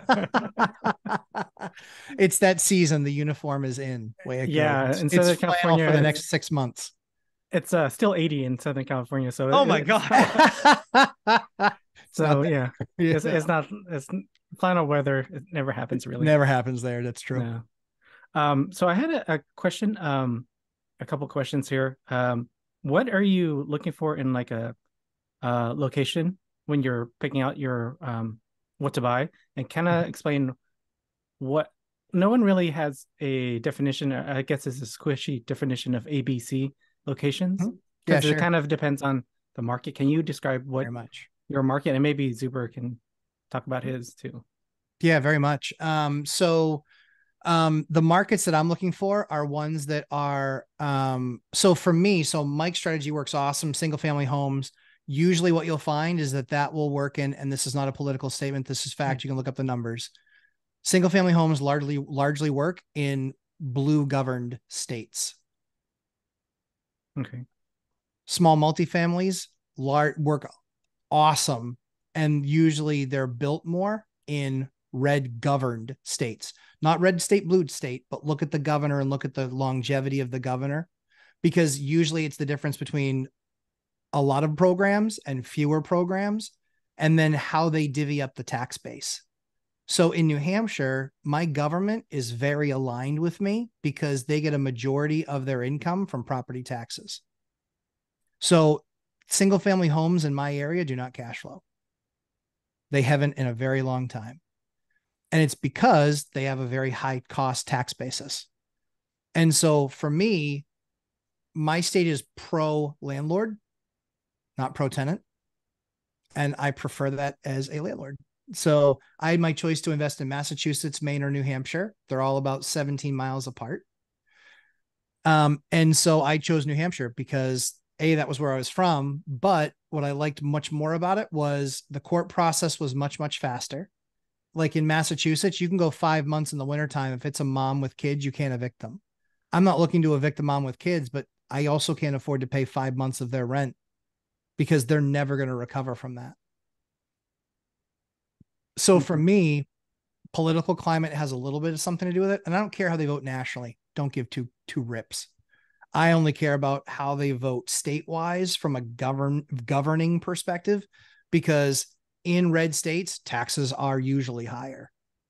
You know, So like Florida property taxes are higher and Texas property taxes are higher and New Hampshire property taxes are higher. But the government is far more aligned with a landlord than they are with a tenant. They need that tax base and if they know if I'm not getting rent, I can't afford my taxes. yeah. You want to talk about A, B, and C for you? Sure. Um, A to me is brand new ground up. Well, so as I'm comparing it to how I feel about it versus the market, the market A is usually brand new build. Yeah. For me, the market isn't. I want to do an uh an and so an A quality area is going to be brand new build and brand new. Um, for me, I try to do uh B and C areas with A, B, and C product because everybody that just goes in and they're a one trick pony and all they do is gut and rehab the problem that you're going to have is that you're getting rid of, I believe in feeder systems and farm systems, like in baseball, where I have a unit that's clean and safe, and that's likely where a tenant's going to start. The next step up for them is clean, safe, and upgraded. I.e., I've done some upgrades. I've, you know, maybe done uh, a light setup.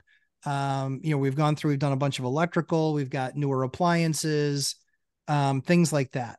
So kind of clean, safe, and upgraded.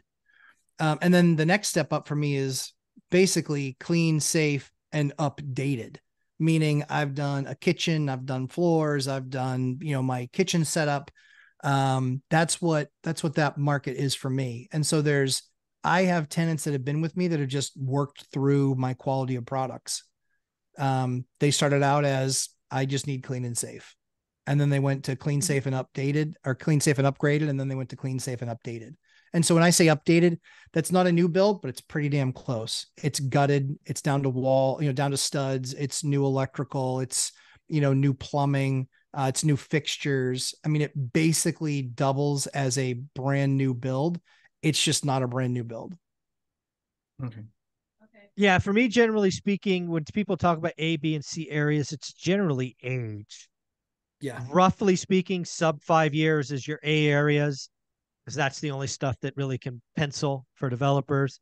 B is kind of 20 years to five years and generally speaking c is greater than 20 years now in california that might be a little bit longer uh, given we don't have the same weather conditions as, as some states um, but generally it, it is kind of age of building and infrastructure um, in my area even in fresno central valley a areas have never cash flowed.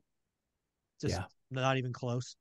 I think I bought one property during the collapse that that was, you know, generally speaking, an A area, but that was, you know, luck really. Uh, B and C areas is where the most of the cash flow is. Some things that I look for that maybe a lot of people don't is I still drive my properties. Yeah. When I'm when I'm driving a new area that I that I don't know if it's A or B, one of the things that I look for is grass. How many of the yards have green grass or relatively green grass? Versus how many are have been watered so long it's basically dirt. Because one of the things that, generically tells me, and it's not always the case, but generally tells me the percentage of renters versus owners. Generally speaking, owners take more care because it's theirs, generally speaking. Um, but that is something I look for. I would call a C area something I drove through where the properties are 50 years old and it's basically dirt lots. Like there's not a lick of grass on the entire street. Um, you probably have cars parked up on jacks. These are just things that come together when I'm driving down the street. But that doesn't mean I don't invest there. Mm. That just means I know what I'm getting into. And to mm-hmm. Matt's point, it, really controls what I upgrade. Absolutely. Right. So um, I think A, B, and C get a lot of talk about because they are squishy to kind of use your word. But mm-hmm. it's to me, it's age. I mean, you could have like, like for example, uh, you're in Long Beach. Do I remember that right, Ben Reed? Yeah. Mm-hmm. There's pro so there really isn't a lot of new development in Long Beach. Maybe there's a couple of infill lots, you know, a couple of things going on. But Long Beach is such a pricey area. You know, there's probably homes that were built 100 years ago that are look brand new. Yeah, right? I, have lived in one of those. Exactly, yeah. right? So um it's really hard to say, but generally speaking, A, B, and C, A, B, and C makes a lot more sense on apartments. Okay. That's where A, Yeah. B, and C comes in. It's It does. apartments, it's amenities, right? A class A has a pool, a gym, you know, laundry facilities. A B will have uh, one pool versus two pools. It'll have this, that, the other. A, B, and C got their names because of apartments. We as real estate investors try to bring that to single family. It's not really the same, hence squishy. Okay. Yeah, clean, clean. The idea is at a base, you want clean and safe. Yes. Yeah, Always. and then Yeah, clean, yeah. safe, and updated, and then clean, safe, and upgraded. You know, really is the the spectrum. Yep. Very, very cool. Do you have So- another one, Vinreith? Okay. Yeah. Um, going along with that, how do you know when it becomes a place becomes uh you know swings from unsafe to safe or vice versa? Like how do you know when the neighborhood kind of turns? Yeah, I mean, you can kind of. I mean, I think it. uh, So, I've bought in a good economy, uh, something that went from a D to a C, and then to a B minus, and then the economy went bad and it went back to D hard.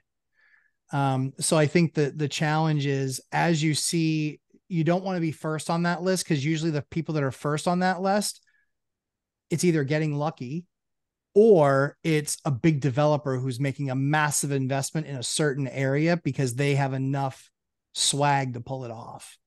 Um, and so for me, you know, as far as looking at an area going from uh, you know, C, C, B, and D is I look at the town next door and then that stuff starts to creep in. If they're the town next door is really blowing up and they're, you know, really doing a ton of build and a ton of new product, I know that it's going to push people out of that area into the next town. And so I've I've started early in some of these other towns. There's a town right now that I started buying in 13 years ago. I was buying single family houses for 60 grand. The cheapest one for sale in the market now is 250. But that 250 one doesn't cash flow anymore. But the duplexes, the duplexes there I used to buy for 120, 130. Now they're 350, 400.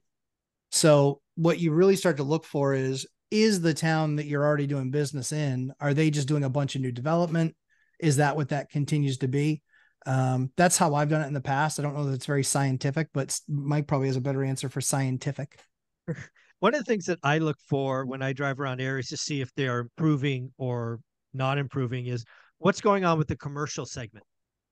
Right? Are stores opening? Are they closing?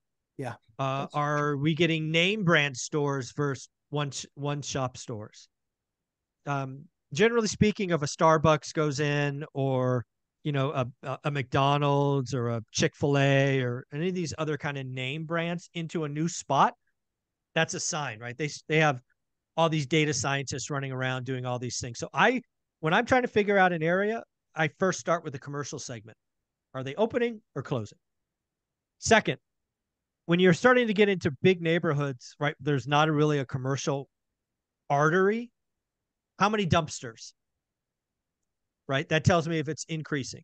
And I've I've been a part of some segments in Fresno where for whatever reason, two or three flippers went in, then five or six followed, and the entire neighborhood's different. That was about a four or five year journey. That was that was fun to see and be a part of. Dumpsters will tell you. And then with their going the other direction, getting worse, I watch the cars. Do the cars go from Mercedes to something less than that? Do the cars suddenly not have, you know, four hubcaps? Right? Are we seeing cars on blocks? I mean, you can see a you can see like just watch the cars. Are the cars getting better or worse? Because that'll tell you what's going on in the uh, the you know the the household dynamics.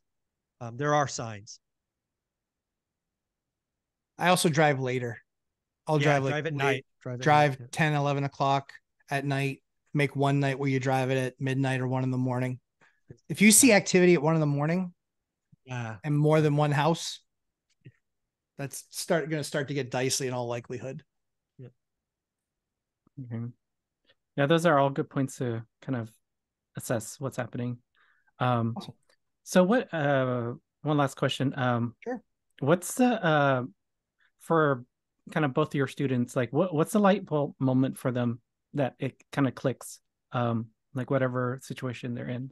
So I currently don't have any uh, rentals, but like it's kind of like this big hurdle, this mountain. Like it's probably pretty small compared to other people, but I'm like, I just the hurdle is like the it's hard to get my you know get everything kind of in motion and then also get the mindset right and then um if you have setbacks and such like Yep. what's that uh, what's that light I- moment? I hope the first light bulb moment, because again, my job is to take you from the stance to the field. So we'll let Matt go next. I'll be back in is one when you- Keep going. I think the answer is when you write your first great offer, not when you get your first deal. When you can confidently put pen to paper and know with certainty that this is going to produce X yield, which is more than average by a significant amount, I want to shake your hand.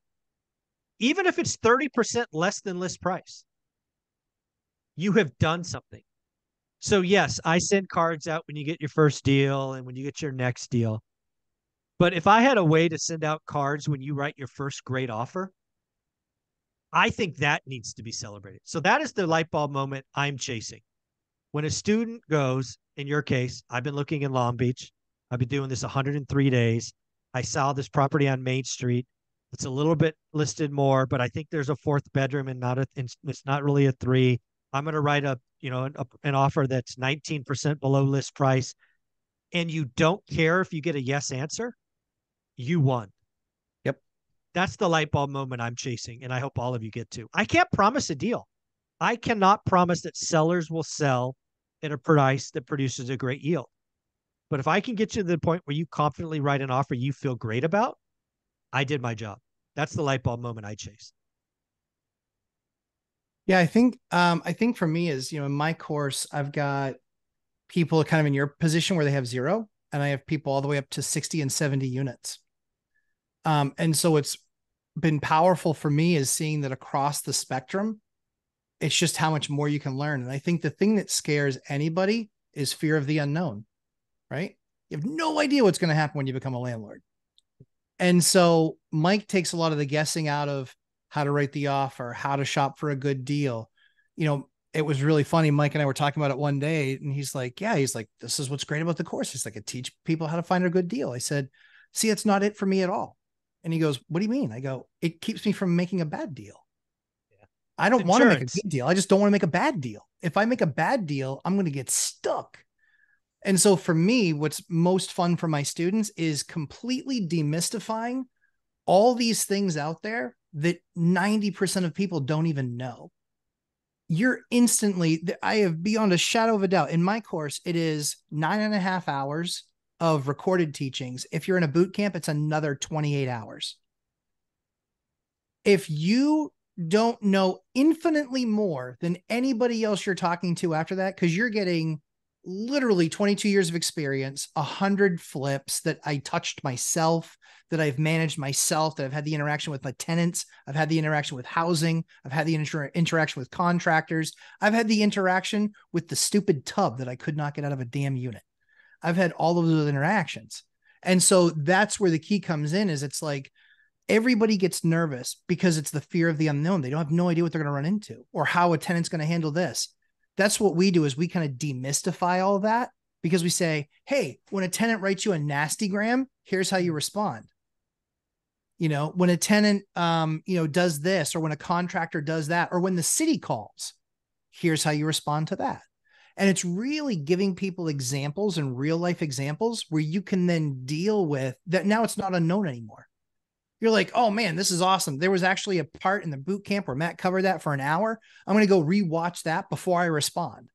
It's that type of stuff. So, really, the key, the light bulb moment for me is when people realize this really isn't as tough as it is. What I need to do is I need to game up on as much experience as I can get.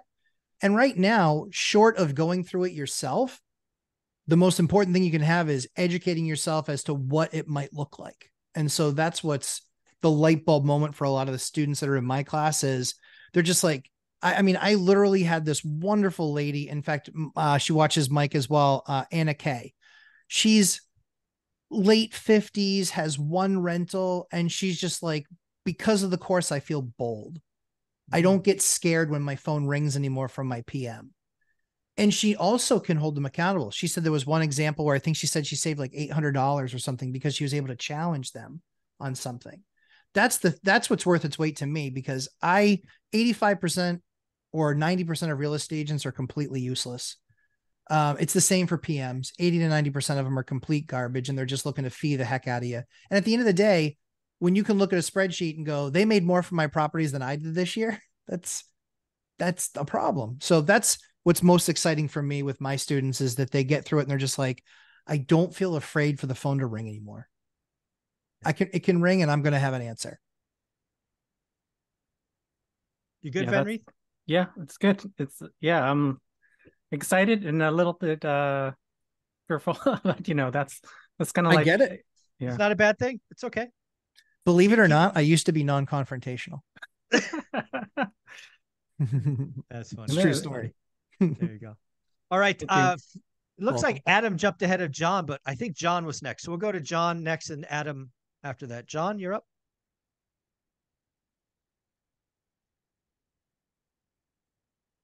Oh, if John's there. I think he was waiting for us. So maybe John made my- Oh, we'll go to Adam then.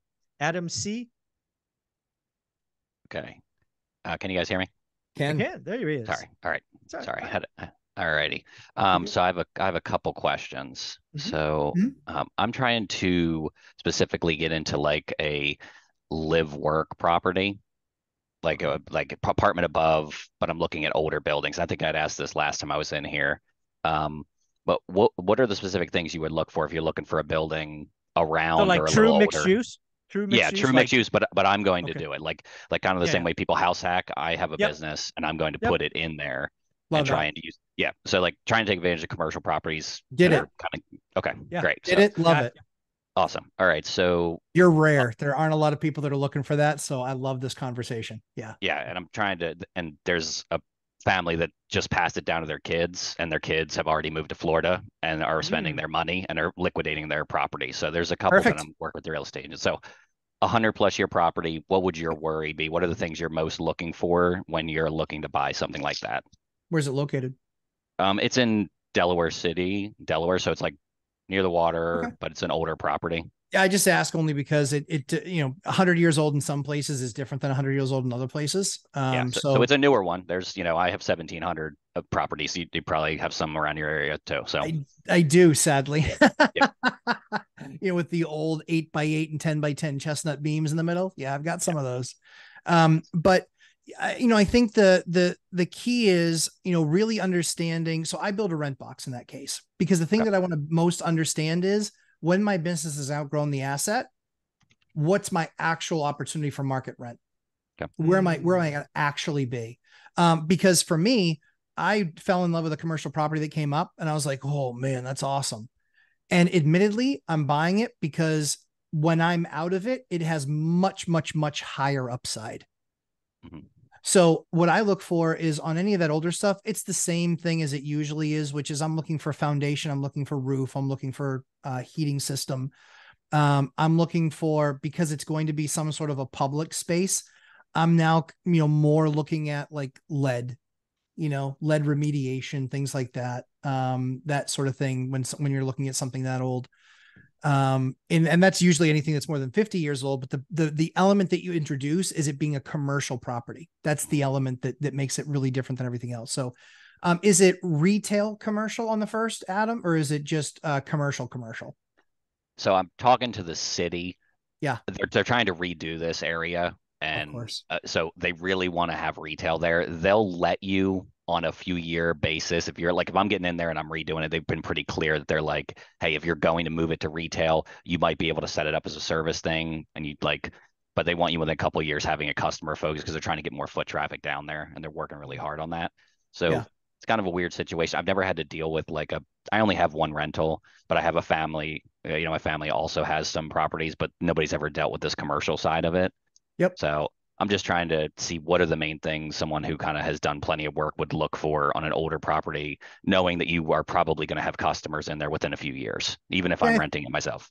Yeah, fair enough. I think, like I said, I think the big thing is is just making sure that they're not going to um that you're grandfathered in on things. Like a sprinkler system is going to cost you 30 G's. Okay. You know, to put a sprinkler system in there is going to suck. And Okay. they look crappy and they're expensive and they're in a small retail space like that. They're the argument is it's not going to save anybody anyway. Mhm. It, it, you know, if there's a fire, like because a, a computer blew up, they're gonna run out the front door. Like it's not gonna save anybody anyway. So that's one of the conversations I would have is making sure they're not gonna make you sprinkle it. Um, and then, like I said, when it comes to retail, just making sure that you know the space has been kind of clean up, i.e., not you know kind of lead free um, because you never know, you know, what issue that might come. Th- those rules are only getting more and more difficult. And the last thing you would want to have happen is you have to shut down to make it that. So you're better off doing that before you open up, before it goes live. And then it puts you in a better position too with when you're going to rent it, it's going to be a done property. Mhm. So Yeah, there's there's two two things I would add to that because I have a couple of these properties as well, and, and I've had them for seven to ten years. Mhm. Um, one thing that got me was signage. interesting. right? Yep. Sure. Signage, the rules around signage changed, and that may affect the architecture. So that would be Okay. something I would definitely check out signage, and then um, ADA, um, handicap. Yeah. Yeah, the bathroom's not ADA. I already looked at that. Yeah, that and also so that got me. Uh, but also access to the living quarters. Um, needed the the uh, stairway was too narrow, which caused a big ass problem. Um, when you have that mix between retail, right, the public, and then you know, clients in at the top, it's just a lot more ADA than I had expected. You yeah, usually in um depending on the retail business, ADA is is it can be a thing or it can also not be a thing. Right. That's where it's really important. 'cause- yeah. So the other thing too is is making sure this the challenge is they can say, here's the retail we would allow there. And then you base build it based on that. And then five years later they say, yeah, They we don't like change those four mind. things anymore and we don't want those there anymore. Mhm. That so happened. that's one of the challenges. But of the of the big things, the ones that you can control, it's going to be sprinkler. It's going to be you know the the lead on the inside. It's going to be that stuff. Yeah. Furnace. the other thing that the last thing I remember was windows. One of the big things they wanted on our on our building, like after we owned it for five years, is they wanted us to. They actually sent us a letter, uh, strongly suggesting that we make bigger windows that face the public street. Really? Because they yeah they did. Yeah they wanted bigger windows. They were too small. Because it, it went from being a duplex like residential area to mixed use to a retail retail corridor. So they wanted all the the buildings that face this certain street and it's the tower district. I've bitched about a lot of time on my channel they had to have eight by eight windows or some gigantic windows oh crazy dear God, yeah it was painful those are cheap. yeah No, they're- Like thousands of dollars for a Yeah, slab had of to- glass. yeah you had to re-engineer the frame and all Yeah, it nasty. reframe everything. Yep. yep, yep. so Okay. Um, so when you're doing a walkthrough, if you were going and looking at this property, like if you're looking at something in that like hundred year or whatever, would you consider getting somebody who like an inspector? Because I looked around and I, I was able to find a couple. You know, obviously it's more expensive, but look for a specific inspector with experience with older buildings or like Yep. historic inspectors. I know Yep. your area probably has them too. Absolutely. Yeah. Okay, So that's definitely absolutely worth pay it. Yeah. it Those those guys that take a five day course, useless in this situation. Okay. Useless. useless And then would you look for, would you have a, I have a family member who's a general contractor and probably gonna have a go through as well. So my hope Yes. Get them to go and then do, have the historic inspector go through the general contractor and then me, all three of us with, the you know, Mhm. get Same ahead of the time. property.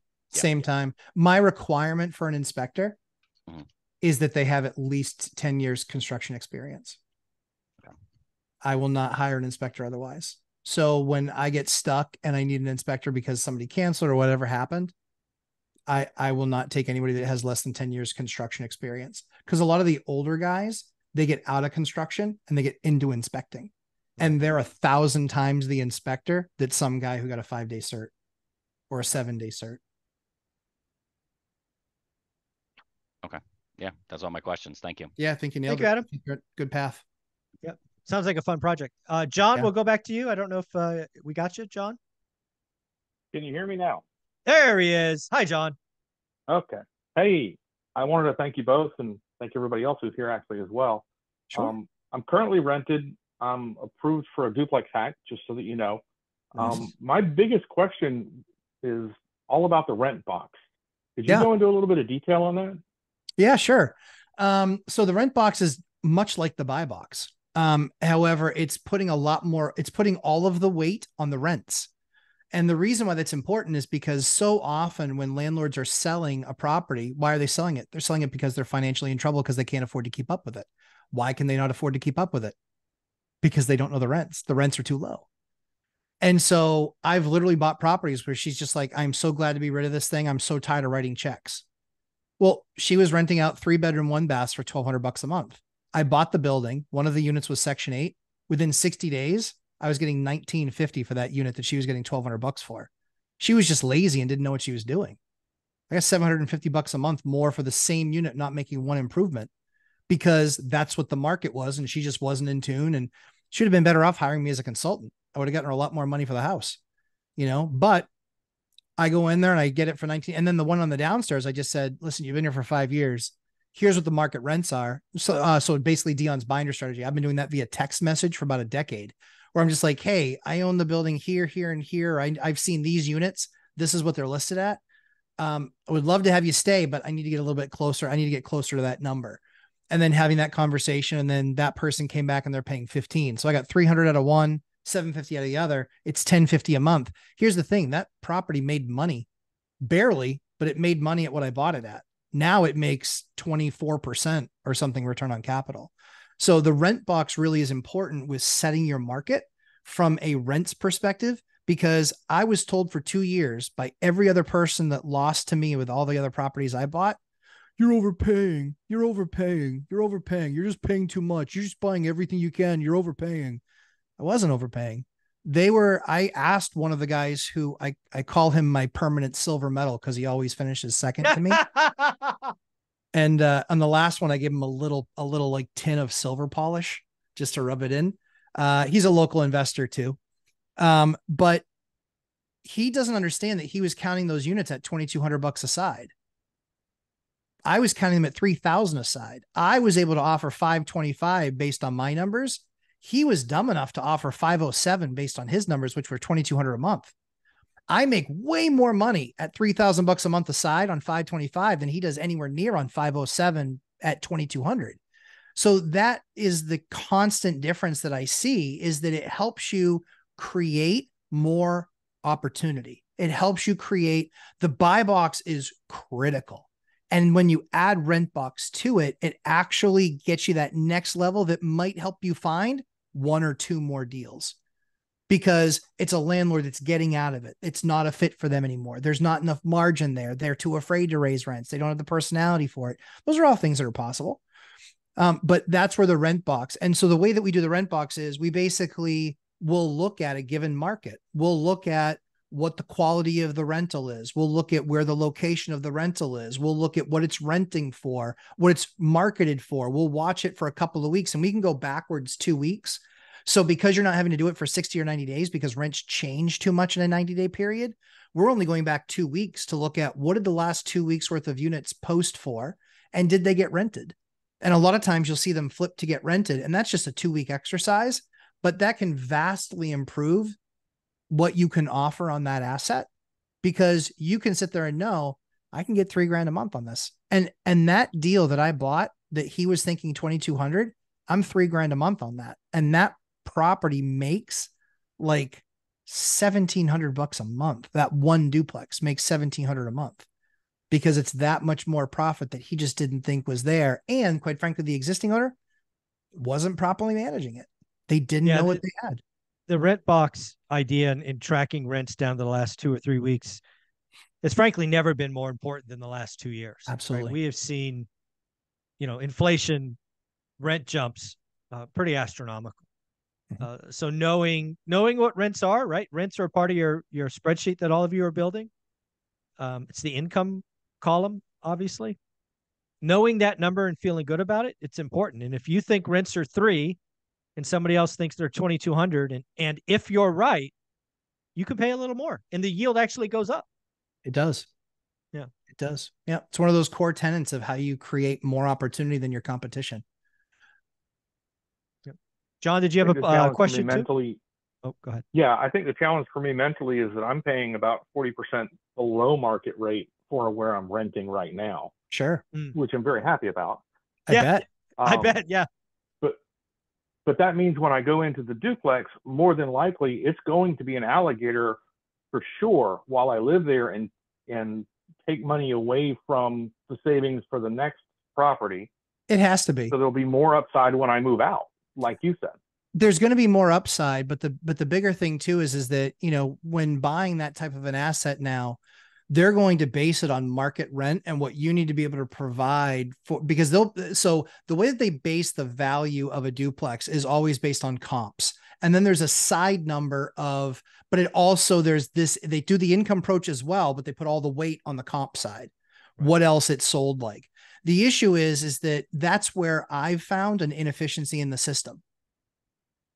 They only care what the last one sold for. I don't give two rips what the last one sold for i only care about what the rents are. I don't care what it's sold for. I care about what my rate is and what it's sold for because that's what makes my payment and my payment is minus you know from my rents which is my my gross income.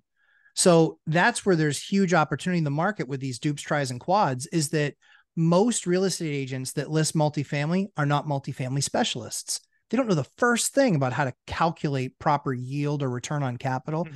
and they certainly don't know what rents are like you know you so you've done some work you know that you're 40% below market on rent. A lot of people have no clue and they're just like damn landlord trying to get rich off me single-handedly. Rents are so expensive and you're 40% under market. Right? And so that's the thing is that most renters don't even know. They really don't. I literally told somebody i said you know what? I think it's time for us to move on. She goes fine i'm happy to. I said sounds good. Be out by the end of the month. And then she came back three days later and goes i was wondering if we could uh if i could stay Yeah. why she went out and she looked at the rents she saw what the market was and i told her no i'm not interested we're going to move on She's like, Well, I might not be out in time. I said, That's okay.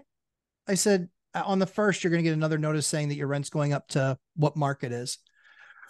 And so that way, it's like uh, for us, it was the way to get rid of a tenant that was just constantly fussing and whining about nothing.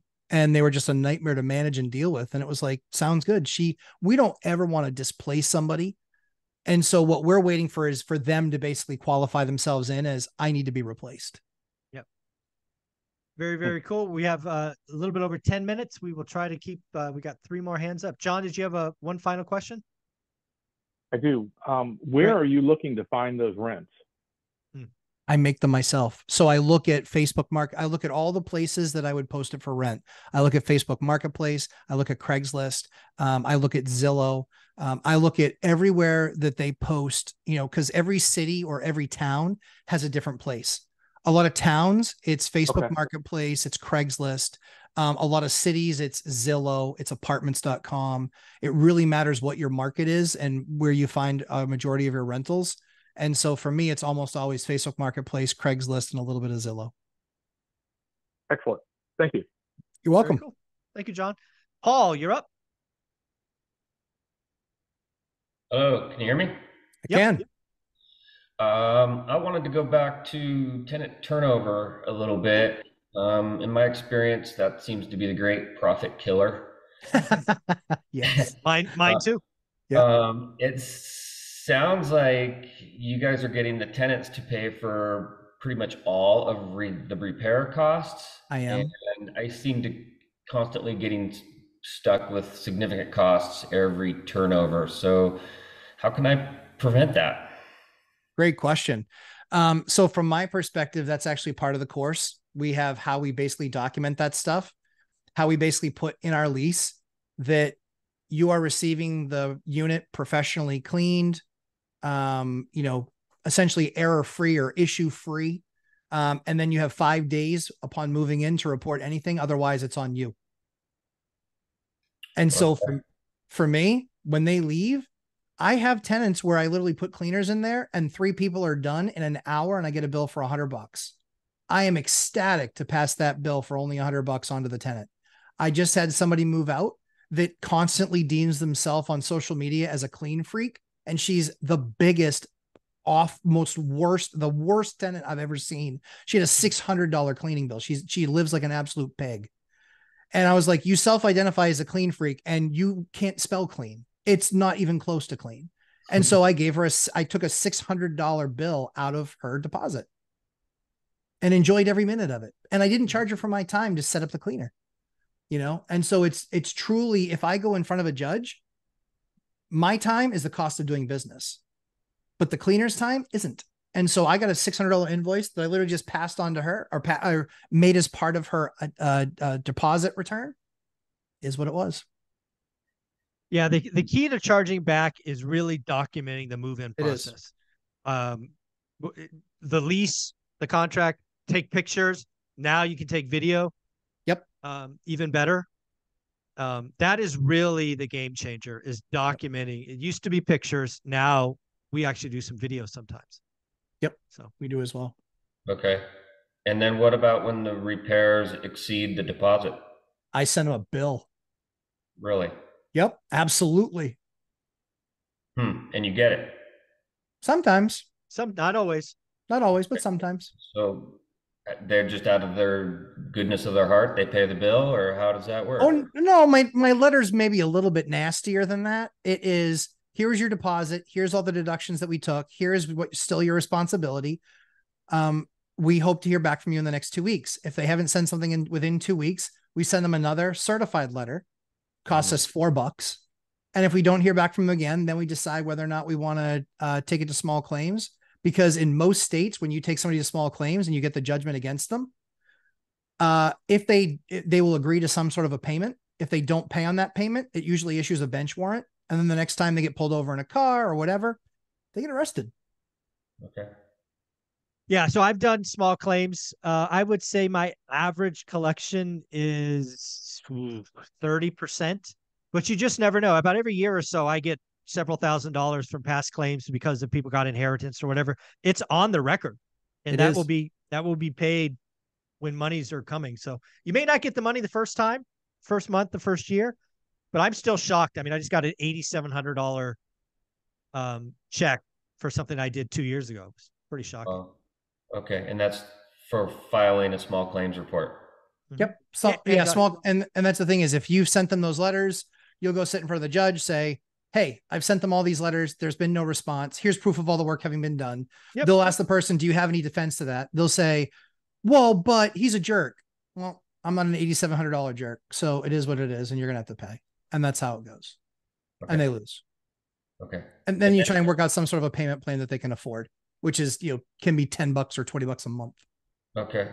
And if somebody's in a house for say five years and the house needs to be repainted and the deposit doesn't cover that, is that something you still would pass on to the tenant or is that just wear and tear?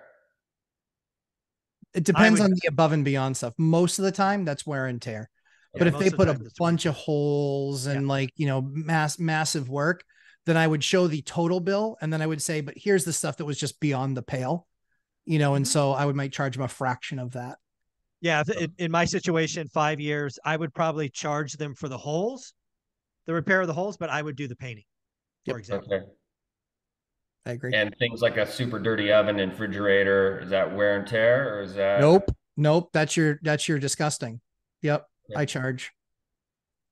Yep, absolutely. And in fact, and depending on the state that you're in, I actually make a price sheet as part of my list and Mhm. say, if you leave it dirty, here's what the cost is for us to clean it. Okay. Yeah. I love how many notes Gina's taking. She's written a book in this time. It's been awesome. I've been watching how many notes you're taking. It's good. Paul, do you have one last question, bud? No, thank you. Awesome, man. Awesome. Thanks, Uh, Paul. Gina, we're gonna go. We're gonna play ping pong. We'll go one at a time. Gina, Adam, Gina, Adam, because you both asked, so we'll go Gina first. See how fast these are. You're on mute. Oh. I see you there. You're on mute. Oh, maybe she took her hand down. Thank Nope. you. There you go. My Sure is. question is, when is your next, when's your next live boot camp start? So we do um probably in January is then when the next one starts. I think we have like two or three spots left because we limit it to 15 people, 15 to 17 people. We don't go any more than that because it's every uh, it's two hours a week. And I want to make sure that everybody gets questions about the content, but also about whatever issue they're dealing with at that time. Um, and then the course, but you can sign up. So we also we cover coursework in there too. So usually people sign up for the course and then they do the boot camp when when the time fits them. It doesn't it's not one of those things that runs out. So you still have time to access it anytime in the first year. And then if you have like an acute problem where you're just like, Matt, I need you to come in here and kind of solve this for me. We have like a three hour block where I just sit down and we get together and we brainstorm. That's just one on one. So we have all three of those options.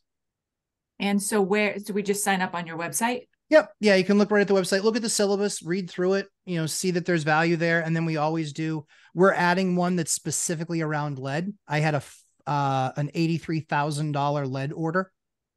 Oof. So I'm going to teach people exactly how to defeat the orders. Yeah. And so we're teaching that in the course. And that's all that's nothing additional. It's going to be in the course um for for those that are in it because I can't teach that on YouTube. yeah, you All got right, it. great. Thank you. Welcome. Adam. Alrighty. Um, question on the commercial property thing again. Is Yeah. is managing rentals like commercial? What's what's the big differences? I guess the question's kind of for both. It's you worse. Okay. You have to have a better response time. You- But you also, you can charge. They can. They assume a lot more responsibilities. Yeah, it's I, I worse learned that when- the hard way when I had my own warehouse. I saw when Yeah. they were like, I was like, it's broken. They were like, yeah, tough shit. I was like, oh, Yeah. okay. Yeah, Yeah. It's, it's sometimes called triple net.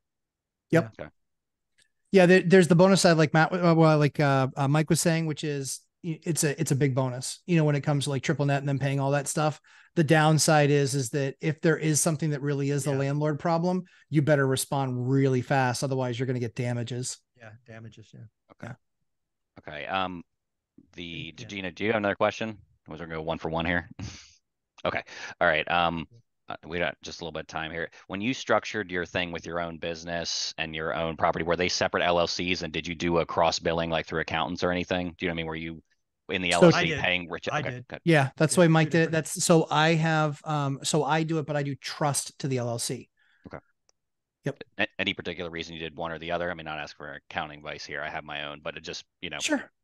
I do trust. I did the trust because the cost of acquisition and LLCs, all the extra insurances, all the extra taxes, everything that, and, and it doesn't offer you the protections that people do. I have nine attorneys. I had one attorney that literally got sued. They went after both of her LLCs and then they got to her privately. So she's just like, Wow. if they're single, if unless they are real partners, if you have an actual real partner that you're not related to, or they have separate finances, then yeah, LLC. If it's you, you and your wife, you and domestic partner, whatever, it's mm-mm. I set them up as LLCs because it was really separate and different from anything else I was doing. Yeah. Really easy to create the separation. Yep.